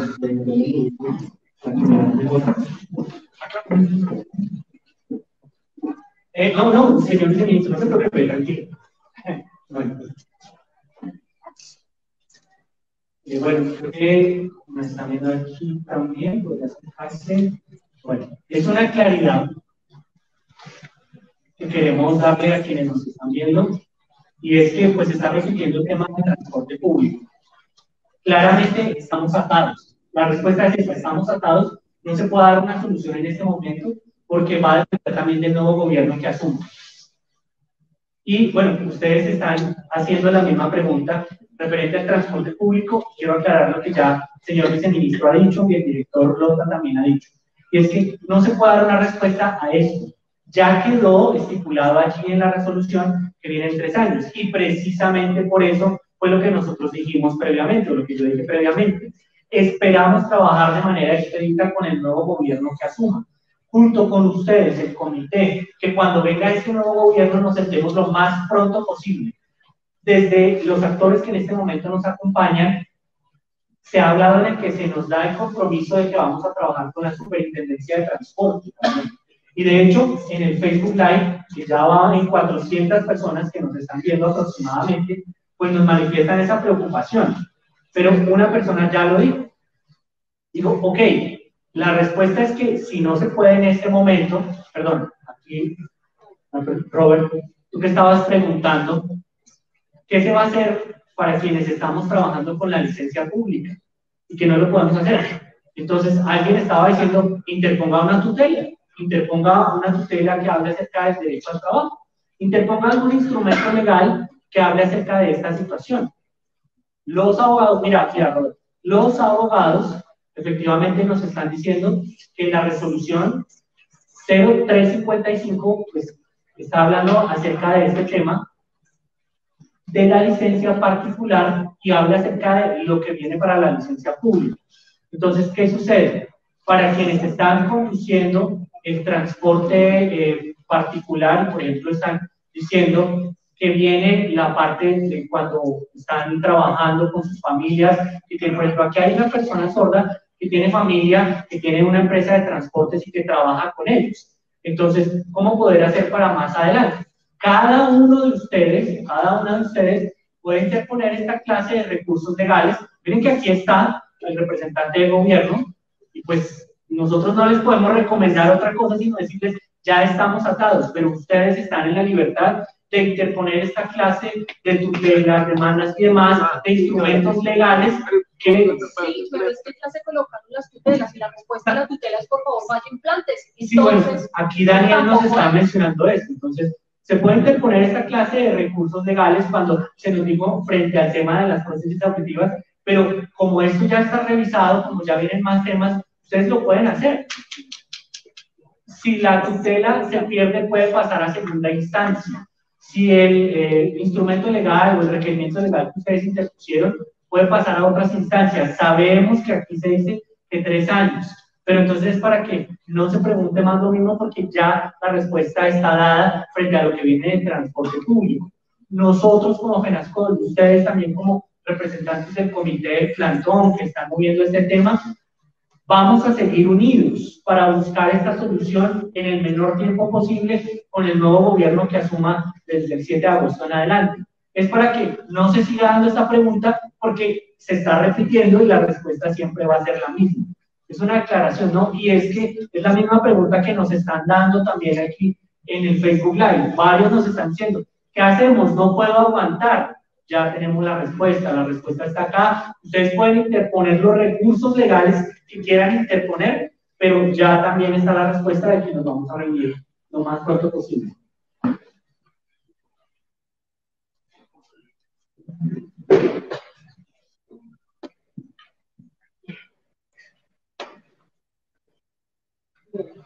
Eh, en este momento estamos varias personas aquí asistiendo a esta reunión gracias por abrir el espacio por abrir este espacio sentirnos más cercanos al ministerio, a la agencia. Muchísimas gracias a las personas que están participando el día de hoy, a INSOR, a FENASCOL, porque me siento orgulloso de ser un sordo colombiano, primero quería decir.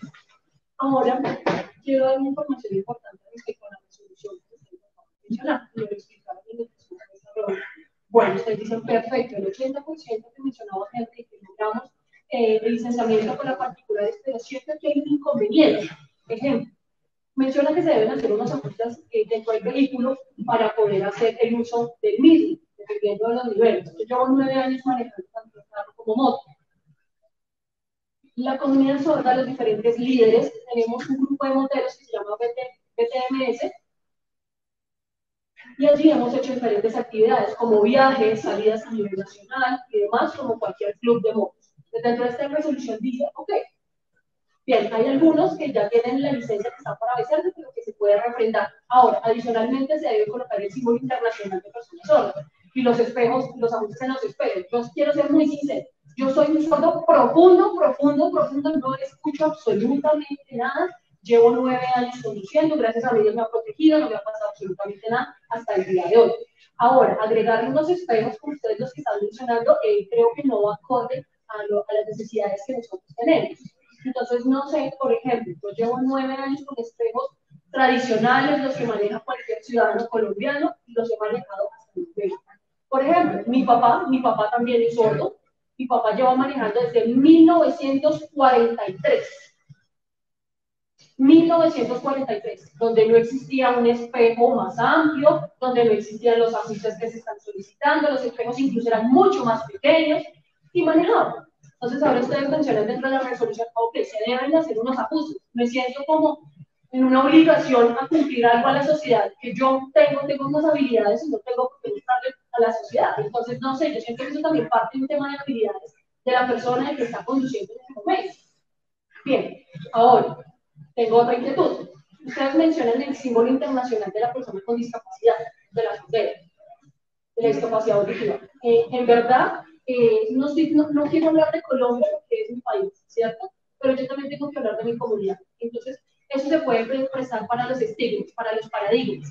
Entonces, mucha gente va a decir, ¡ay! Aquí sabemos que el término correcto es hoy, pero seguramente afuera cuando vean el símbolo van a decir, ¡ay, mire, el mundo está manejando! Mire, el sordito, ¡ah, el sordito! Este es vulnerable para robar. Entonces, siento que no es la mejor solución. No sé si después dentro del paso, más bien este símbolo allí. Cuando el, el, agente de tránsito me indique que le entregue los papeles, puede considerar los papeles y le voy a mostrar que soy una persona sorda y queda entre la gente de tránsito y yo. No tiene por qué ser visible a la sociedad. Es una reflexión que quiero dejar aquí, porque esto que se menciona en la resolución, bueno, usted dice es que vi los estudios previos, claro, pero yo también estoy hablando desde la, desde la experiencia, desde la experiencia que yo tengo conduciendo. Entonces, realmente no estoy de acuerdo con el ajuste de los de los espejos y adicionalmente en el uso del símbolo de discapacidad auditiva. No sé qué tengan ustedes para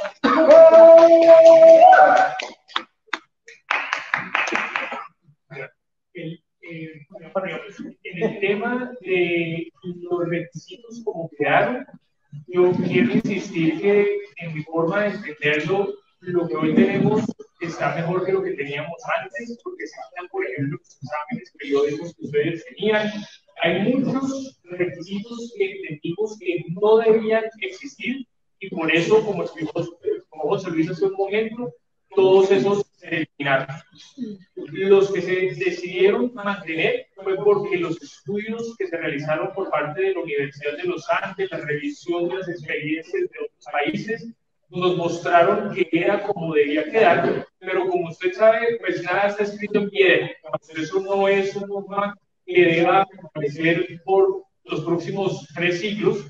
Es una norma que puede ser susceptible de ser revisada, pero y, estamos tomando nota, estamos tomando nota porque para eso está todo el equipo de lo que usted nos está diciendo, pero creo que eso es algo que nos podrá revisar en una futura, si es que existe revisión, cuando exista, de la parte del transporte particular.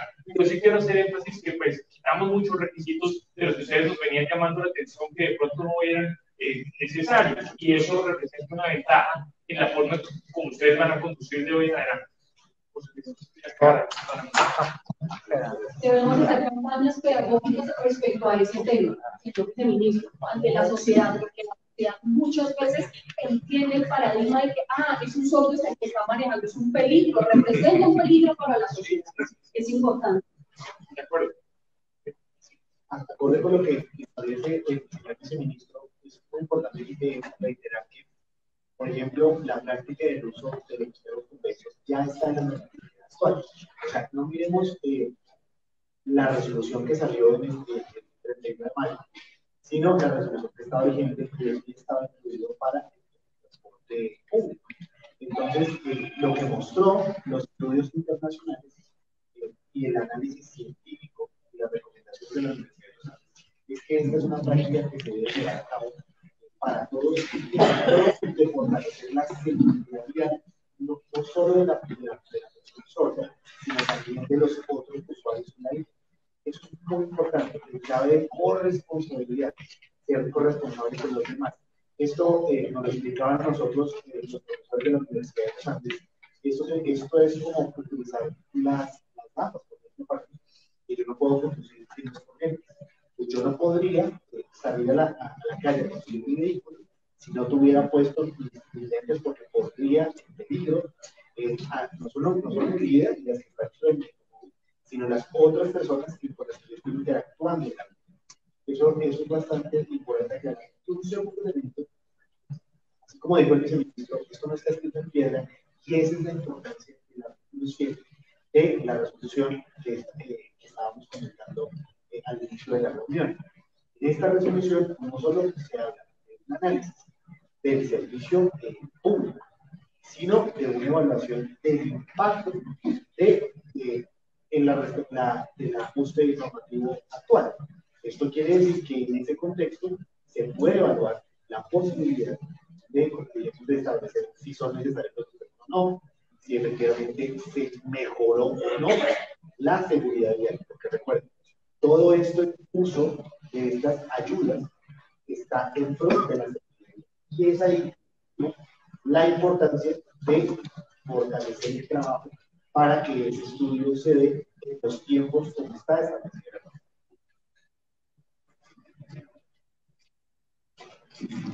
Muchísimas gracias a de ustedes por la respuesta que recibieron ustedes. Y trabajemos por mejorar esto, para cambiar esta resolución y tengamos mejores fondos de la asignatura.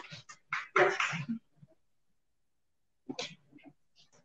Muy buenas tardes, no, muy buenos días. Muchísimas gracias a todos los funcionarios que se encuentran el día de hoy, emisores, y demás entidades que se encuentran el día de hoy. Hoy estamos eh, celebrando una lucha de 16 años en que vamos intentando acceder al licenciamiento. Ahora decimos, bueno, tres años más, como máximo, entonces hablamos de un total de 19 años. Ojalá se pueda eh, disminuir este tiempo. Eh, se menciona que se debe hacer incidencia con el nuevo gobierno, no hay inconveniente, pero sería importante que dentro del espacio que se realice eh, también mencionar eso que viene trabajando con la comunidad sorda, en qué quedamos, a dónde vamos, eso sería muy importante. Específicamente al director José, al director de licenciamiento, yo quiero preguntarle algo, y anteriormente en su explicación se mencionaba que dentro de la resolución se deben hacer estos ajustes de los expertos de los que se hablaba de lo que hablábamos ayer. Ahora yo quiero hacer una consulta. Ejemplo, si yo utilizo el vehículo de mi papá, utilizo el vehículo de otra persona, debo colocarle también el símbolo de discapacidad a todos los carros que yo voy a utilizar. Los espejos también, porque si no salgo en el vehículo de mis papás, si mis papás no tienen los ajustes en los espejos y en el símbolo, entonces voy a ser multado, entonces no sé cómo hacer el control de este, de este tema. Nosotros las personas sordas, como ya hemos manifestado varias oportunidades, llevamos manejando 20 años, 17 años, con los espejos que se tienen actualmente y no hemos tenido ningún inconveniente y pocos eh, porcentajes de siniestralidad. Entonces nosotros sabemos, tenemos una exposición o tenemos una visión periférica que nos permite acceder a la, a la información que está en el entorno de la conducción. Entonces no sé si estos espejos que están aquí se deban ajustar a todos los carros que yo voy a manejar, porque mi papá claramente no, lo va a querer usar con esos ajustes. Entonces, eh, no sé, o de mi mamá, mi hermana, un amigo, si son sus carros, eh, es obligatorio que yo deba colocar el símbolo en todos los vehículos. ¿Cuál es la afectación de esto? Yo voy manejando, claro, Ejemplo que eh, yo en ese momento no tengo los espejos y veo bien. Un policía me puede parar. Un agente de tránsito me dice, ah, disculpe, la norma dice que usted como persona sorda debe tener los ajustes en los espejos y me puede llevar el carro a los cuadros. Pero si estoy conduciendo bien, lo único es que estoy incumpliendo el tema de ajustes porque el vehículo no es mío, esa es la afectación. Entonces, eh, no sé, siento que eso es uno de los problemas que, que resalto, resalto de, la, de la resolución. Bien, eh, entonces, como le menciono, sería olvidar que en el momento del empate de cambio de gobierno, ver cómo podemos hacer el ajuste en este sentido, porque pues es la persona sobre quien va a hacer uso del vehículo. Bien, adicionalmente, yo creo que cada uno de ustedes, de los que estamos acá, tiene un vehículo.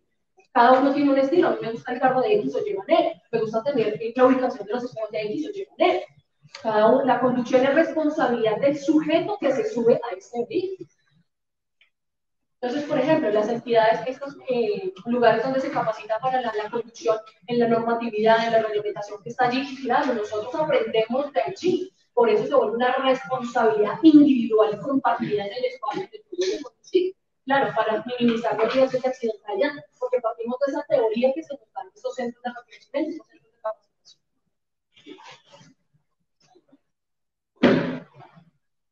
Mi nombre es Ed.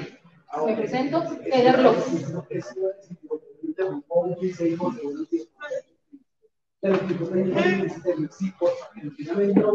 para tomar los apuntes respectivos para posicionar. Gracias, Ah, perfecto, perfecto. Estamos continuando. Entonces, eh, en lo que veníamos hablando entonces, es esa oportunidad de poder hacer el espacio y ver cómo vamos a continuar esta proceso tanto para vehículo a motor, tanto el carro como la moto, sería importante hacer eso. Ahora bien, no sé si de pronto en el vehículo ustedes lo pensaron, en el colocar el símbolo internacional de discapacidad auditiva que debe ir ubicado en un lugar visible dentro del carro, y si un policía está allí y dice, ok, si usted sordo, me voy a acercar a pedirle los documentos porque sabe que es sordo, ¿cierto? Entonces le va a decir, sí, como la revisión y más. Bien, pero hablemos específicamente en el contexto colombiano. Están lo que nosotros denominamos las los ladrones que están al acecho, lo que está allí pendiente del, del otro para poder robar. Entonces, si yo coloco mi símbolo de discapacidad auditiva, voy a ser vulnerable a que se me diga que es culpa de la persona sorda, que yo voy a ser vulnerable a un robo. Ahora, lo que habíamos hablado anteriormente, el tema de los paradigmas. ¿Cómo se piensa a la persona sorda desde, desde la sociedad? Sería importante entonces que como en estos lugares de reconocimiento, de capacitación de la condición, dentro de esa reglamentación, en el pase o en el, en el documento que se entregue se mencione que es una persona sorda, en el documento, que quede allí nomás, y que en el momento en que salga a, la conducción, me pare la gente de tránsito, se mencione aquí, donde yo estoy, y se mencione que soy una persona sorda aquí, que soy una persona sorda y que quede entre la gente de tránsito y yo. Porque siento que es un poco peligroso y exponernos a colocar un símbolo de que somos personas sordas porque hay gente al acecho y pues tengamos Entonces eso es como lo, lo, que quiero dejar aquí, en este espacio de construcción, que podamos compartir esta información y que más adelante el apoyo de FENASCOL y el uso de pronto podamos mejorar esta reglamentación, como lo decía el ministro, que está bien, pero lo podemos trabajar y pues trabajar de la mano. Muchísimas gracias a todos ustedes.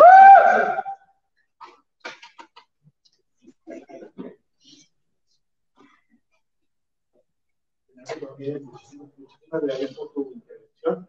Creo que se recogen varios elementos importantes. En primer lugar, lo que tiene que ver con el principal, lo que hace todas estas inquietudes se transmitan para que efectivamente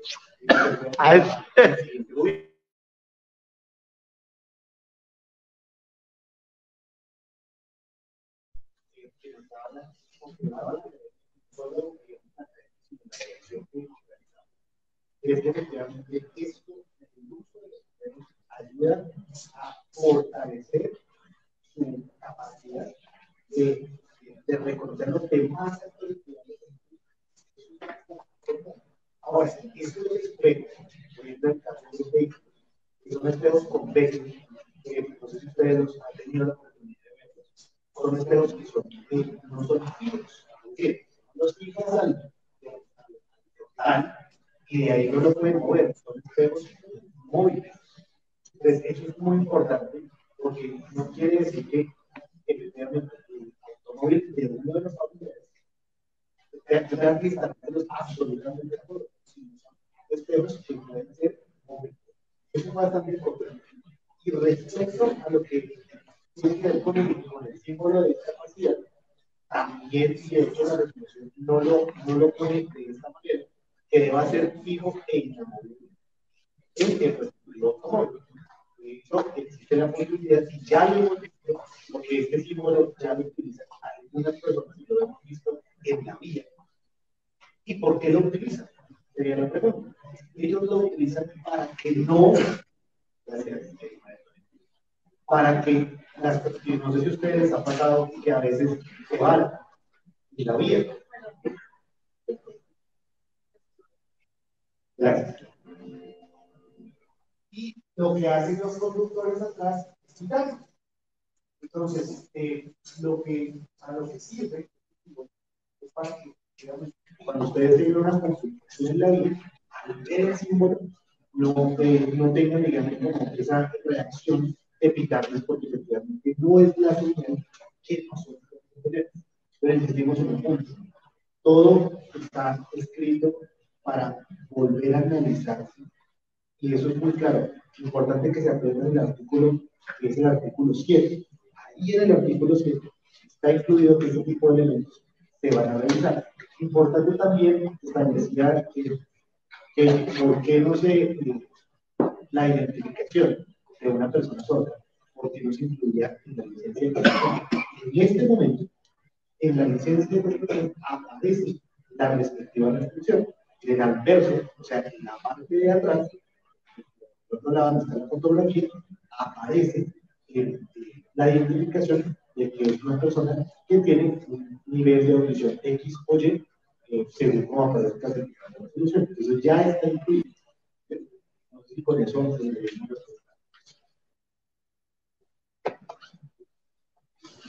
Muchas gracias.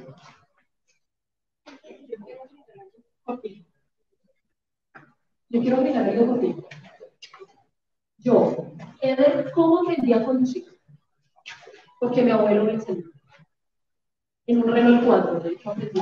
Y gracias a ese carro, en Renault 4, pude aprender a conducir de vehículos.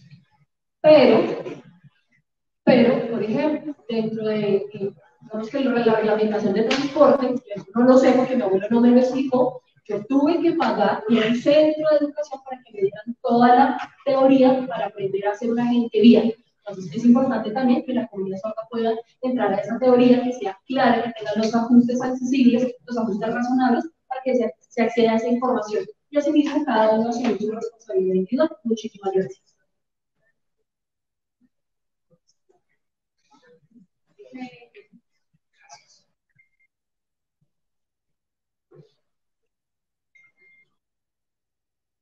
Bueno, eh, dentro de la resolución ya quedó el tema de los ajustes para los centros de enseñanza, en donde se les indica a estos eh, organismos de apoyo que puedan utilizar videos eh, con lenguaje inclusive, con lengua señas, para que ustedes puedan tomar esos cursos. También los centros de reconocimiento de conductores y absolutamente todos los sectores en vía deben también hacer los ajustes inclusivos para que ustedes puedan eh, tener esa conexión eh, y esa atención y esa respuesta efectiva cuando ustedes lo necesitan y lo requieren. Entonces, hoy ya gracias a la resolución ustedes pueden tener ese eh, acceso a esos cursos, a esos exámenes, incluso a los mismos organismos de tránsito para realizar los trámites que requieran sin ningún inconveniente.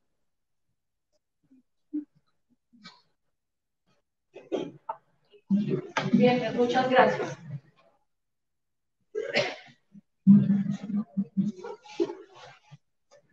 Una cosa más, quería aprovechar con esto que, se nos dijo. Ojalá que desde el gobierno nacional también se dé esta capacitación, esta pedagogía. Ya en la resolución quedó y decía lenguaje de señas. Pero, perdón, el término adecuado es lengua de señas. En la resolución quedó fue el lenguaje de señas. Esperamos que esto no se replique y se dé un término incorrecto, porque cuando lo vimos quedamos como ah, no es así, no es lenguaje de señas, es lengua de señas. Y el, lenguaje inclusivo, pues efectivamente existe, pero es otra cosa que es diferente a la lengua de señas. La lengua de señas es una lengua, que es un idioma. Entonces, para que puedan hacer el replicar esta información y ojalá que se haga este cambio allí en la resolución de terminología porque con esto lo que sería es replicar un modelo que es incorrecto. Muchas gracias.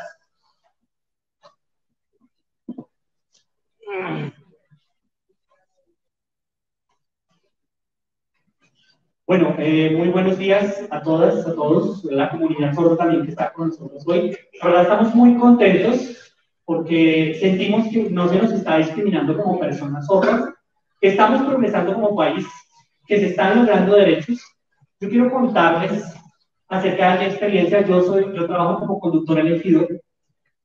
Todavía no le hemos dado la señal conductor elegido, pero es esa persona que está trabajando, asistiendo a aquellas personas que ya no pueden conducir porque han ingenido el licor. Entonces, yo llevo trabajando como conductor elegido durante unos cinco años. No ha sido un trabajo complicado para mí. Yo siempre muestro mi tarjeta de que trabajo como tal en los momentos en los que se requiere y pues la sugerencia para ustedes también es que se puede hacer en los momentos en los que se nos dé esa licencia de conducción y que pues se diga allí que es una persona sorda, ¿no? Sirve mucho para que en los momentos en los que se dé la licencia y se tenga que mostrar, pues se sepa que uno es una persona sorda. Y en mi caso particular en el que trabajo como conductor elegido, pues que en los momentos en los que vaya a usar los carros de las otras personas, pues eso se sepa, ¿no? Me parece supremamente positivo el hecho de que ya no se tengan que utilizar las prótesis auditivas. Hay que revisar el tema de mostrar los símbolos de la sordera, como ya se ha hablado, pero pues mostrar este tema positivo. Todavía me queda una inquietud y es el tema del símbolo que se utiliza internacionalmente para la discapacidad. Y sobre todo para cuando se está usando el pico ¿no? Para las excepciones. Nosotros podemos utilizar simplemente el símbolo de la sordera o tenemos que utilizar el símbolo internacional de la discapacidad, porque hay todavía una confusión al respecto. Porque nosotros accederíamos a esa excepción que hay para el pico y placa, al igual que cualquier otra persona que tiene otra discapacidad. Entonces, usaríamos cuál de los dos símbolos y si todavía entramos dentro de esa excepción que existe para el placa. Esa sería mi segunda pregunta. Lo tercero que quería mencionar eh, va atado a lo primero, ¿no? Que mencionaba cuando tenemos que usar eh, automóvil prestado, que el nuestro.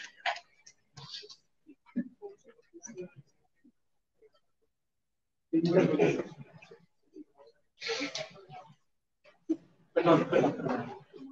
Eh, olvidé decir mi nombre. Soy Santiago. Perdón, Sergio. Díaz, Sergio Díaz. Sergio, muchísimas gracias.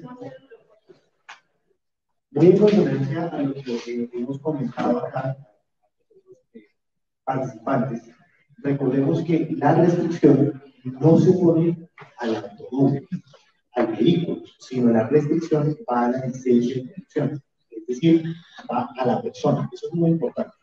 Y reiteramos que el punto es bien, bien importante decir que los sistemas son, digamos, son, no son fijos, se pueden cambiar, eh, se pueden intercambiar de vehículo a vehículo, pasa con, el espejo eh, convexo de 180, con de 180 grados y también lo que tiene que ver con los espejos eh, laterales.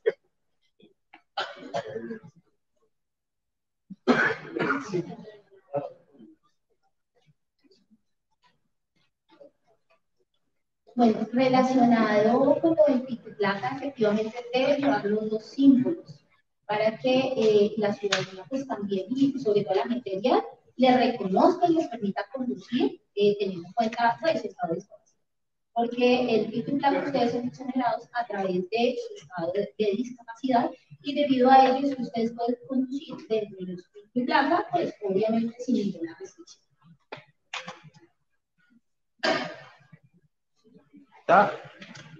Pero, pero una, una claridad a ese respecto eh, porque justamente, ¿cómo, ¿cómo, haríamos nosotros? ¿no? O sea, yo tengo mi automóvil o el automóvil que me vayan a prestar, en el que vaya a usar, debo pedir entonces el símbolo de sordera, debo pegárselo para poder eh, tener la excepción de conducción o sencillamente con, con mi licencia o cómo, cómo debe ser en el caso cuando dice mi vehículo propio como debe ser el vehículo de otra persona también, con el tema de los dos símbolos.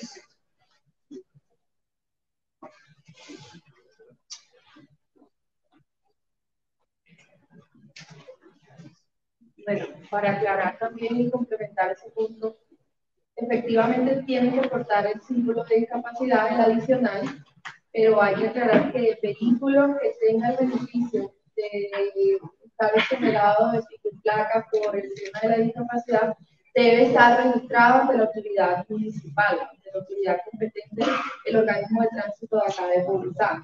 En el caso de Bogotá o en el caso de Medellín o cualquier la ciudad que tenga la medida.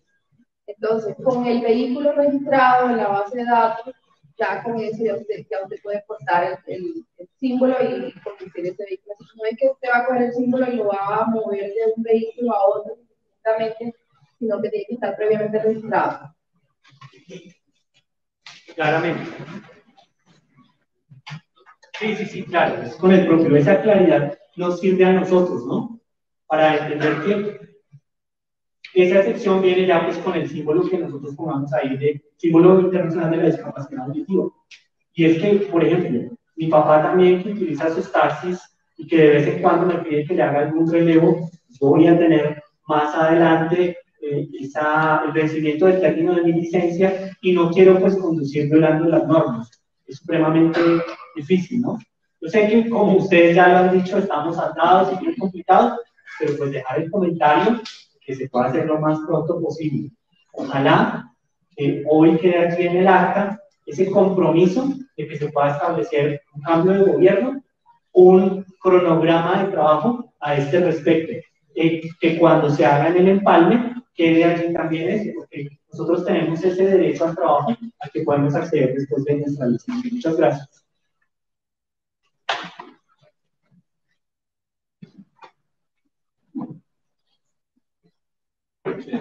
Hola, buenos días.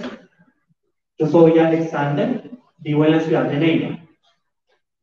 Y pues frente a la resolución que acaba de salir este 31 de mayo, nosotros nos encontramos muy felices porque también nos va a servir mucho en cuanto al tema de las entidades. Pero nos gustaría saber cuándo vamos a tener esa reglamentación con las entidades en el nivel nacional. Y sobre todo, quisiera, quisiera añadir una situación. En 2018 mi licencia venció. Yo en estos momentos estoy sin licencia. Quiere decir entonces que ya con la promulgación de esta resolución puedo ir a un centro de reconocimiento a tramitar que ya salga mi licencia nuevamente o qué se debe hacer, qué debo esperar, no solamente para mí, sino para los demás líderes sordos que están en esta misma situación. Muchas gracias. ¿Puede explicar de la reglamentación? Es que no he entendido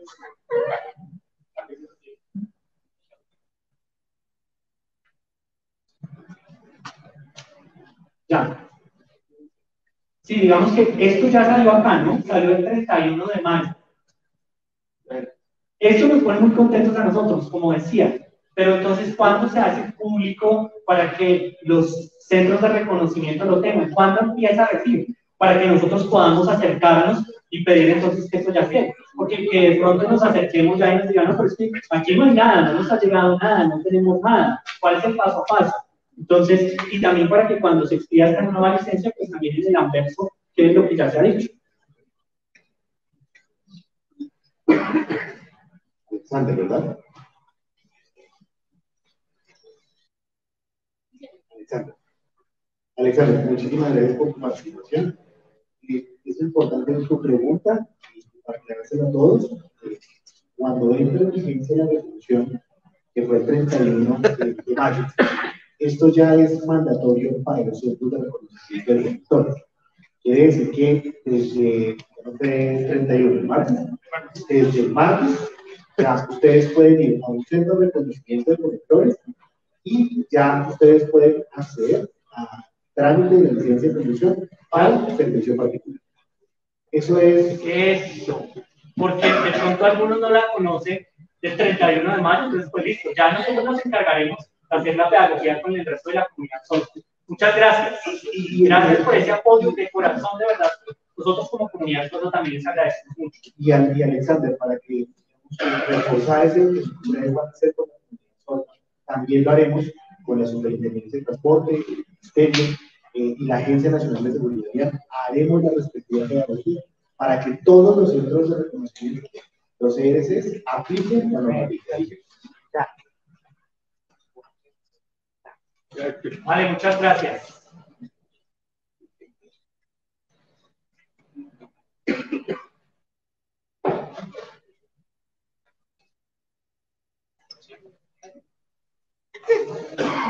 Primero, muy buenos días, me presento. Yo soy María del Carmen. Vivo en, nací en la ciudad de Barranquilla y vivo ahora en Aguachica, Cesar. Bien, gracias a Penascol por la invitación, por todo el trabajo que se ha hecho desde el comité eh, para el plantón del diario. Entonces, eh, mirando toda la información que se dio alrededor de esta reunión, me nace una inquietud y es el tema de, me incomoda un poco y ya lo han manifestado mis compañeros, el hecho de colocar el símbolo de persona sorda. Por ejemplo, en Aguachita tienen en cuenta que hay una persona sorda qué pena, error de interpretación. Hay una persona que utiliza el servicio, utiliza el el vehículo y, se hace pasar por sordo. Entonces lo pone, pone su logo, porque somos así. Y ya, nos, ya saben, ya se conocen con la comunidad y dicen, ah, este sorprende, este no hace parte de la comunidad. Pero ¿cómo hace la gente de tránsito para comunicarse con esta persona, por ejemplo, y para verificar y ver que verifica su discapacidad? Entonces, por eso mencionábamos anteriormente sería ideal que dentro del, del reverso de la licencia se mencione que personas con discapacidad, porque eso le daría validez a, a nuestra discapacidad, por decirlo así, frente a la gente de tránsito, porque si lo hacemos a través de un solo símbolo, cualquier persona lo puede preguntar, puede hacerse pasar por una persona. Lo digo porque ya lo viví en Aguachico. Nosotros debemos eh, respetar y reconocer nuestra lengua como personas sordas. Entonces, ¿cómo hace uno, cómo la gente valida que sí es una persona sorda? Es eso. Entonces, quería dejarlo como ahí en la reflexión.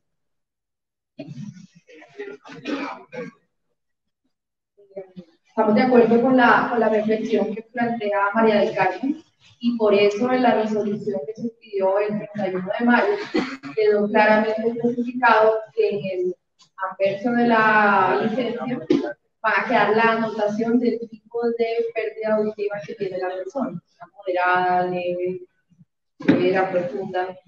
Entonces ya a partir de la expedición de la resolución y para cuando genere la renovación o expedición de la licencia, pues va a quedar la marcación en el anverso para que la autoridad de control lo pueda identificar claramente, que pertenecen a la comunidad sorda.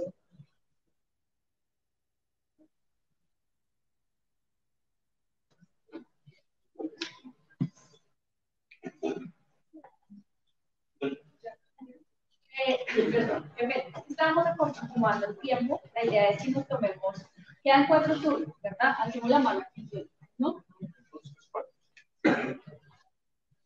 Listo. Cortico, tres. Forma para que podamos como hacer el cierre, ya son las 11 y 25, entonces si les parece, si ya hicimos la pregunta, pues concluyámosla, ¿les parece? Para ya finalizar. Listo.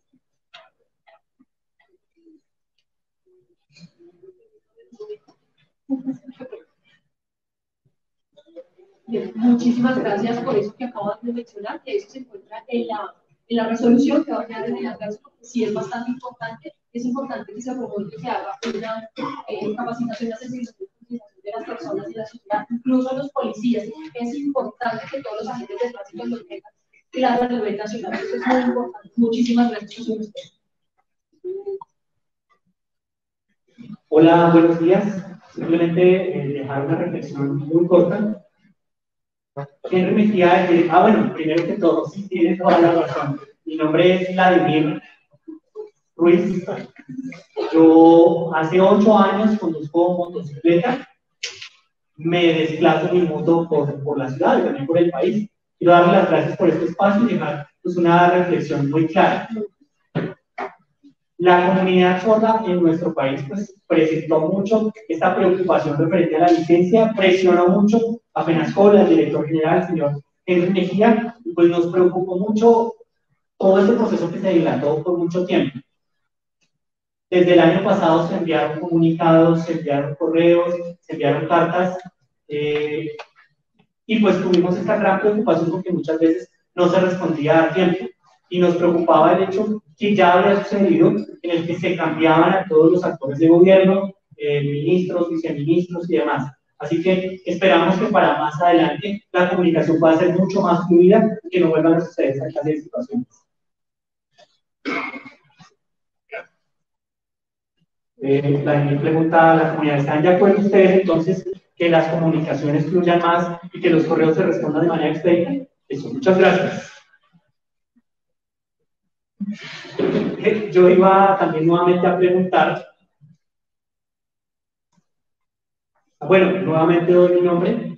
Soy Jorge Iván. ¿Estás? Ok, bien. Entonces, nuevamente preguntar. Porque durante mucho tiempo pues se decía que no, que no se puede. Ahora ya con la resolución lo logramos. Entonces, ¿cómo hacer para que esto se aplique de una manera rápida? Eh, ¿A qué me refiero? Algunas personas sordas pues tienen, todos tenemos una situación muy diferente. Digamos que hay varios que están eh, trabajando en aplicaciones como Rappi y de pronto en la aplicación se dice, no, usted no puede trabajar allí. Ya nosotros pues al tener esta resolución sí podemos hacerlo. ¿Cómo hacer para comunicar a esta clase de espacios de que ya se puede hacer, de que ya esta situación se ha arreglado para transporte particular, en el transporte o en diferentes aplicaciones que esto pueda aplicar. Eso por un lado. Y por otro lado, también está el tema de que en la licencia de transporte previamente decía que debe utilizar la prótesis auditiva o la médula auditiva. Para aquellos que ya nosotros, pues, somos sordos profundos, que no requerimos la prótesis, que no la necesitamos, ustedes ya nos comentaron que no se necesita, entonces, ¿cómo va a quedar eso para que a todos les quede claro de que ya no se requiere? Muy rápidamente, el tema de comunicaciones, nosotros desde el Ministerio ya sacamos con la Agencia Nacional videos, comunicado de prensa, se hizo una divulgación, pero como hemos mencionado, pues esa divulgación tiene que continuar tanto de parte nuestra como de parte de ustedes. Y eh, que en general la sociedad entienda que eso ya se permite, con qué condiciones se permite, por ejemplo, no tienen que exigir estos exámenes periódicos nada de ese tipo de cosas, y eh, ese es parte del trabajo en el que vamos a continuar. Ah, y el segundo es el de las licencias que ya tienen la restricción y exige, entiendo que exige expresamente que tienen que usar el audífono.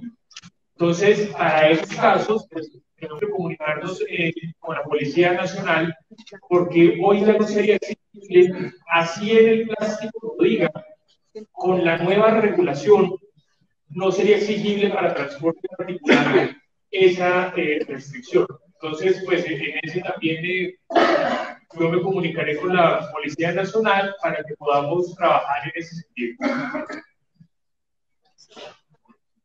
Yo les pido, muchas gracias, muchas gracias. Les pido, por favor, de verdad me debo levantar a, a otra reunión que tenía. Eh, por favor, seamos muy concretos porque ya no, no voy a alcanzar mucho más. Una cosa más, una cosa más.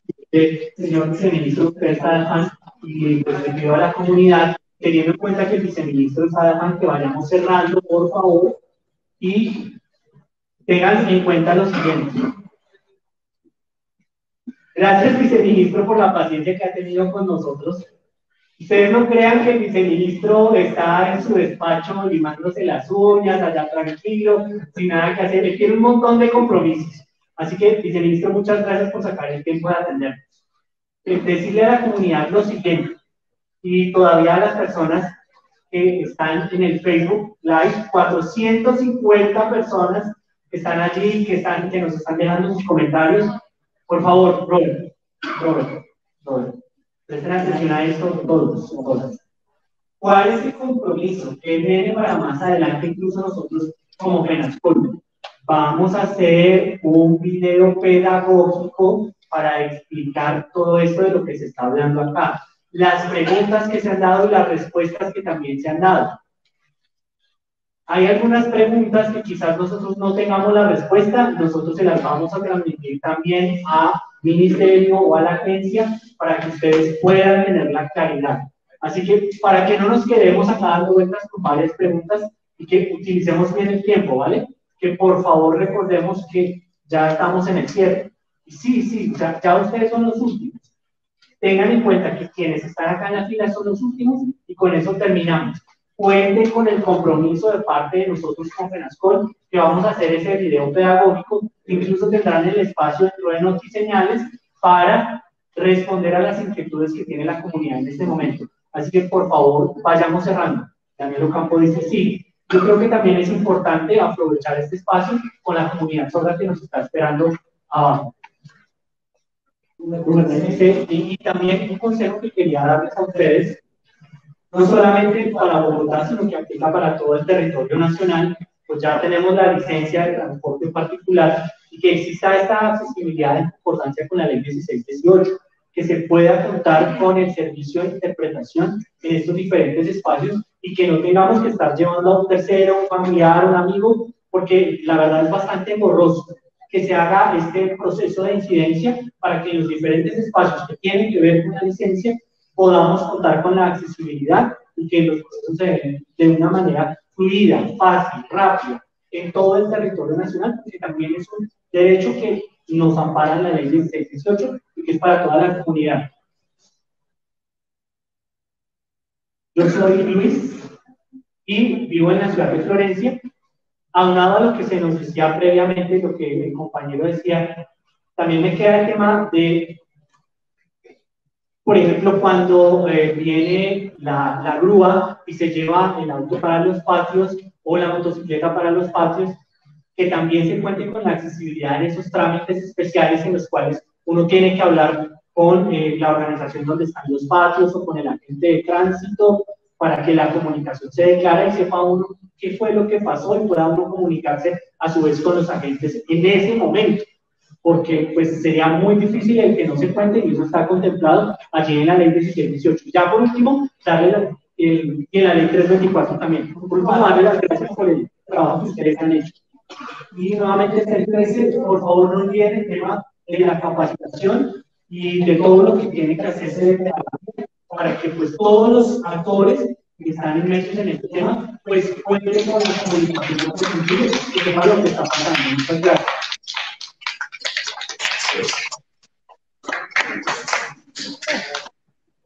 Bueno, ya para despedirnos, pedir a las instalaciones del Ministerio de la Agencia, muchas felicitaciones, gracias a Penasol por el trabajo que estuvimos haciendo todos estos años, igual a la Consejería, al sector y a todo el sector, quedamos con estos compromisos y muchas felicitaciones. Feliz día. Gracias.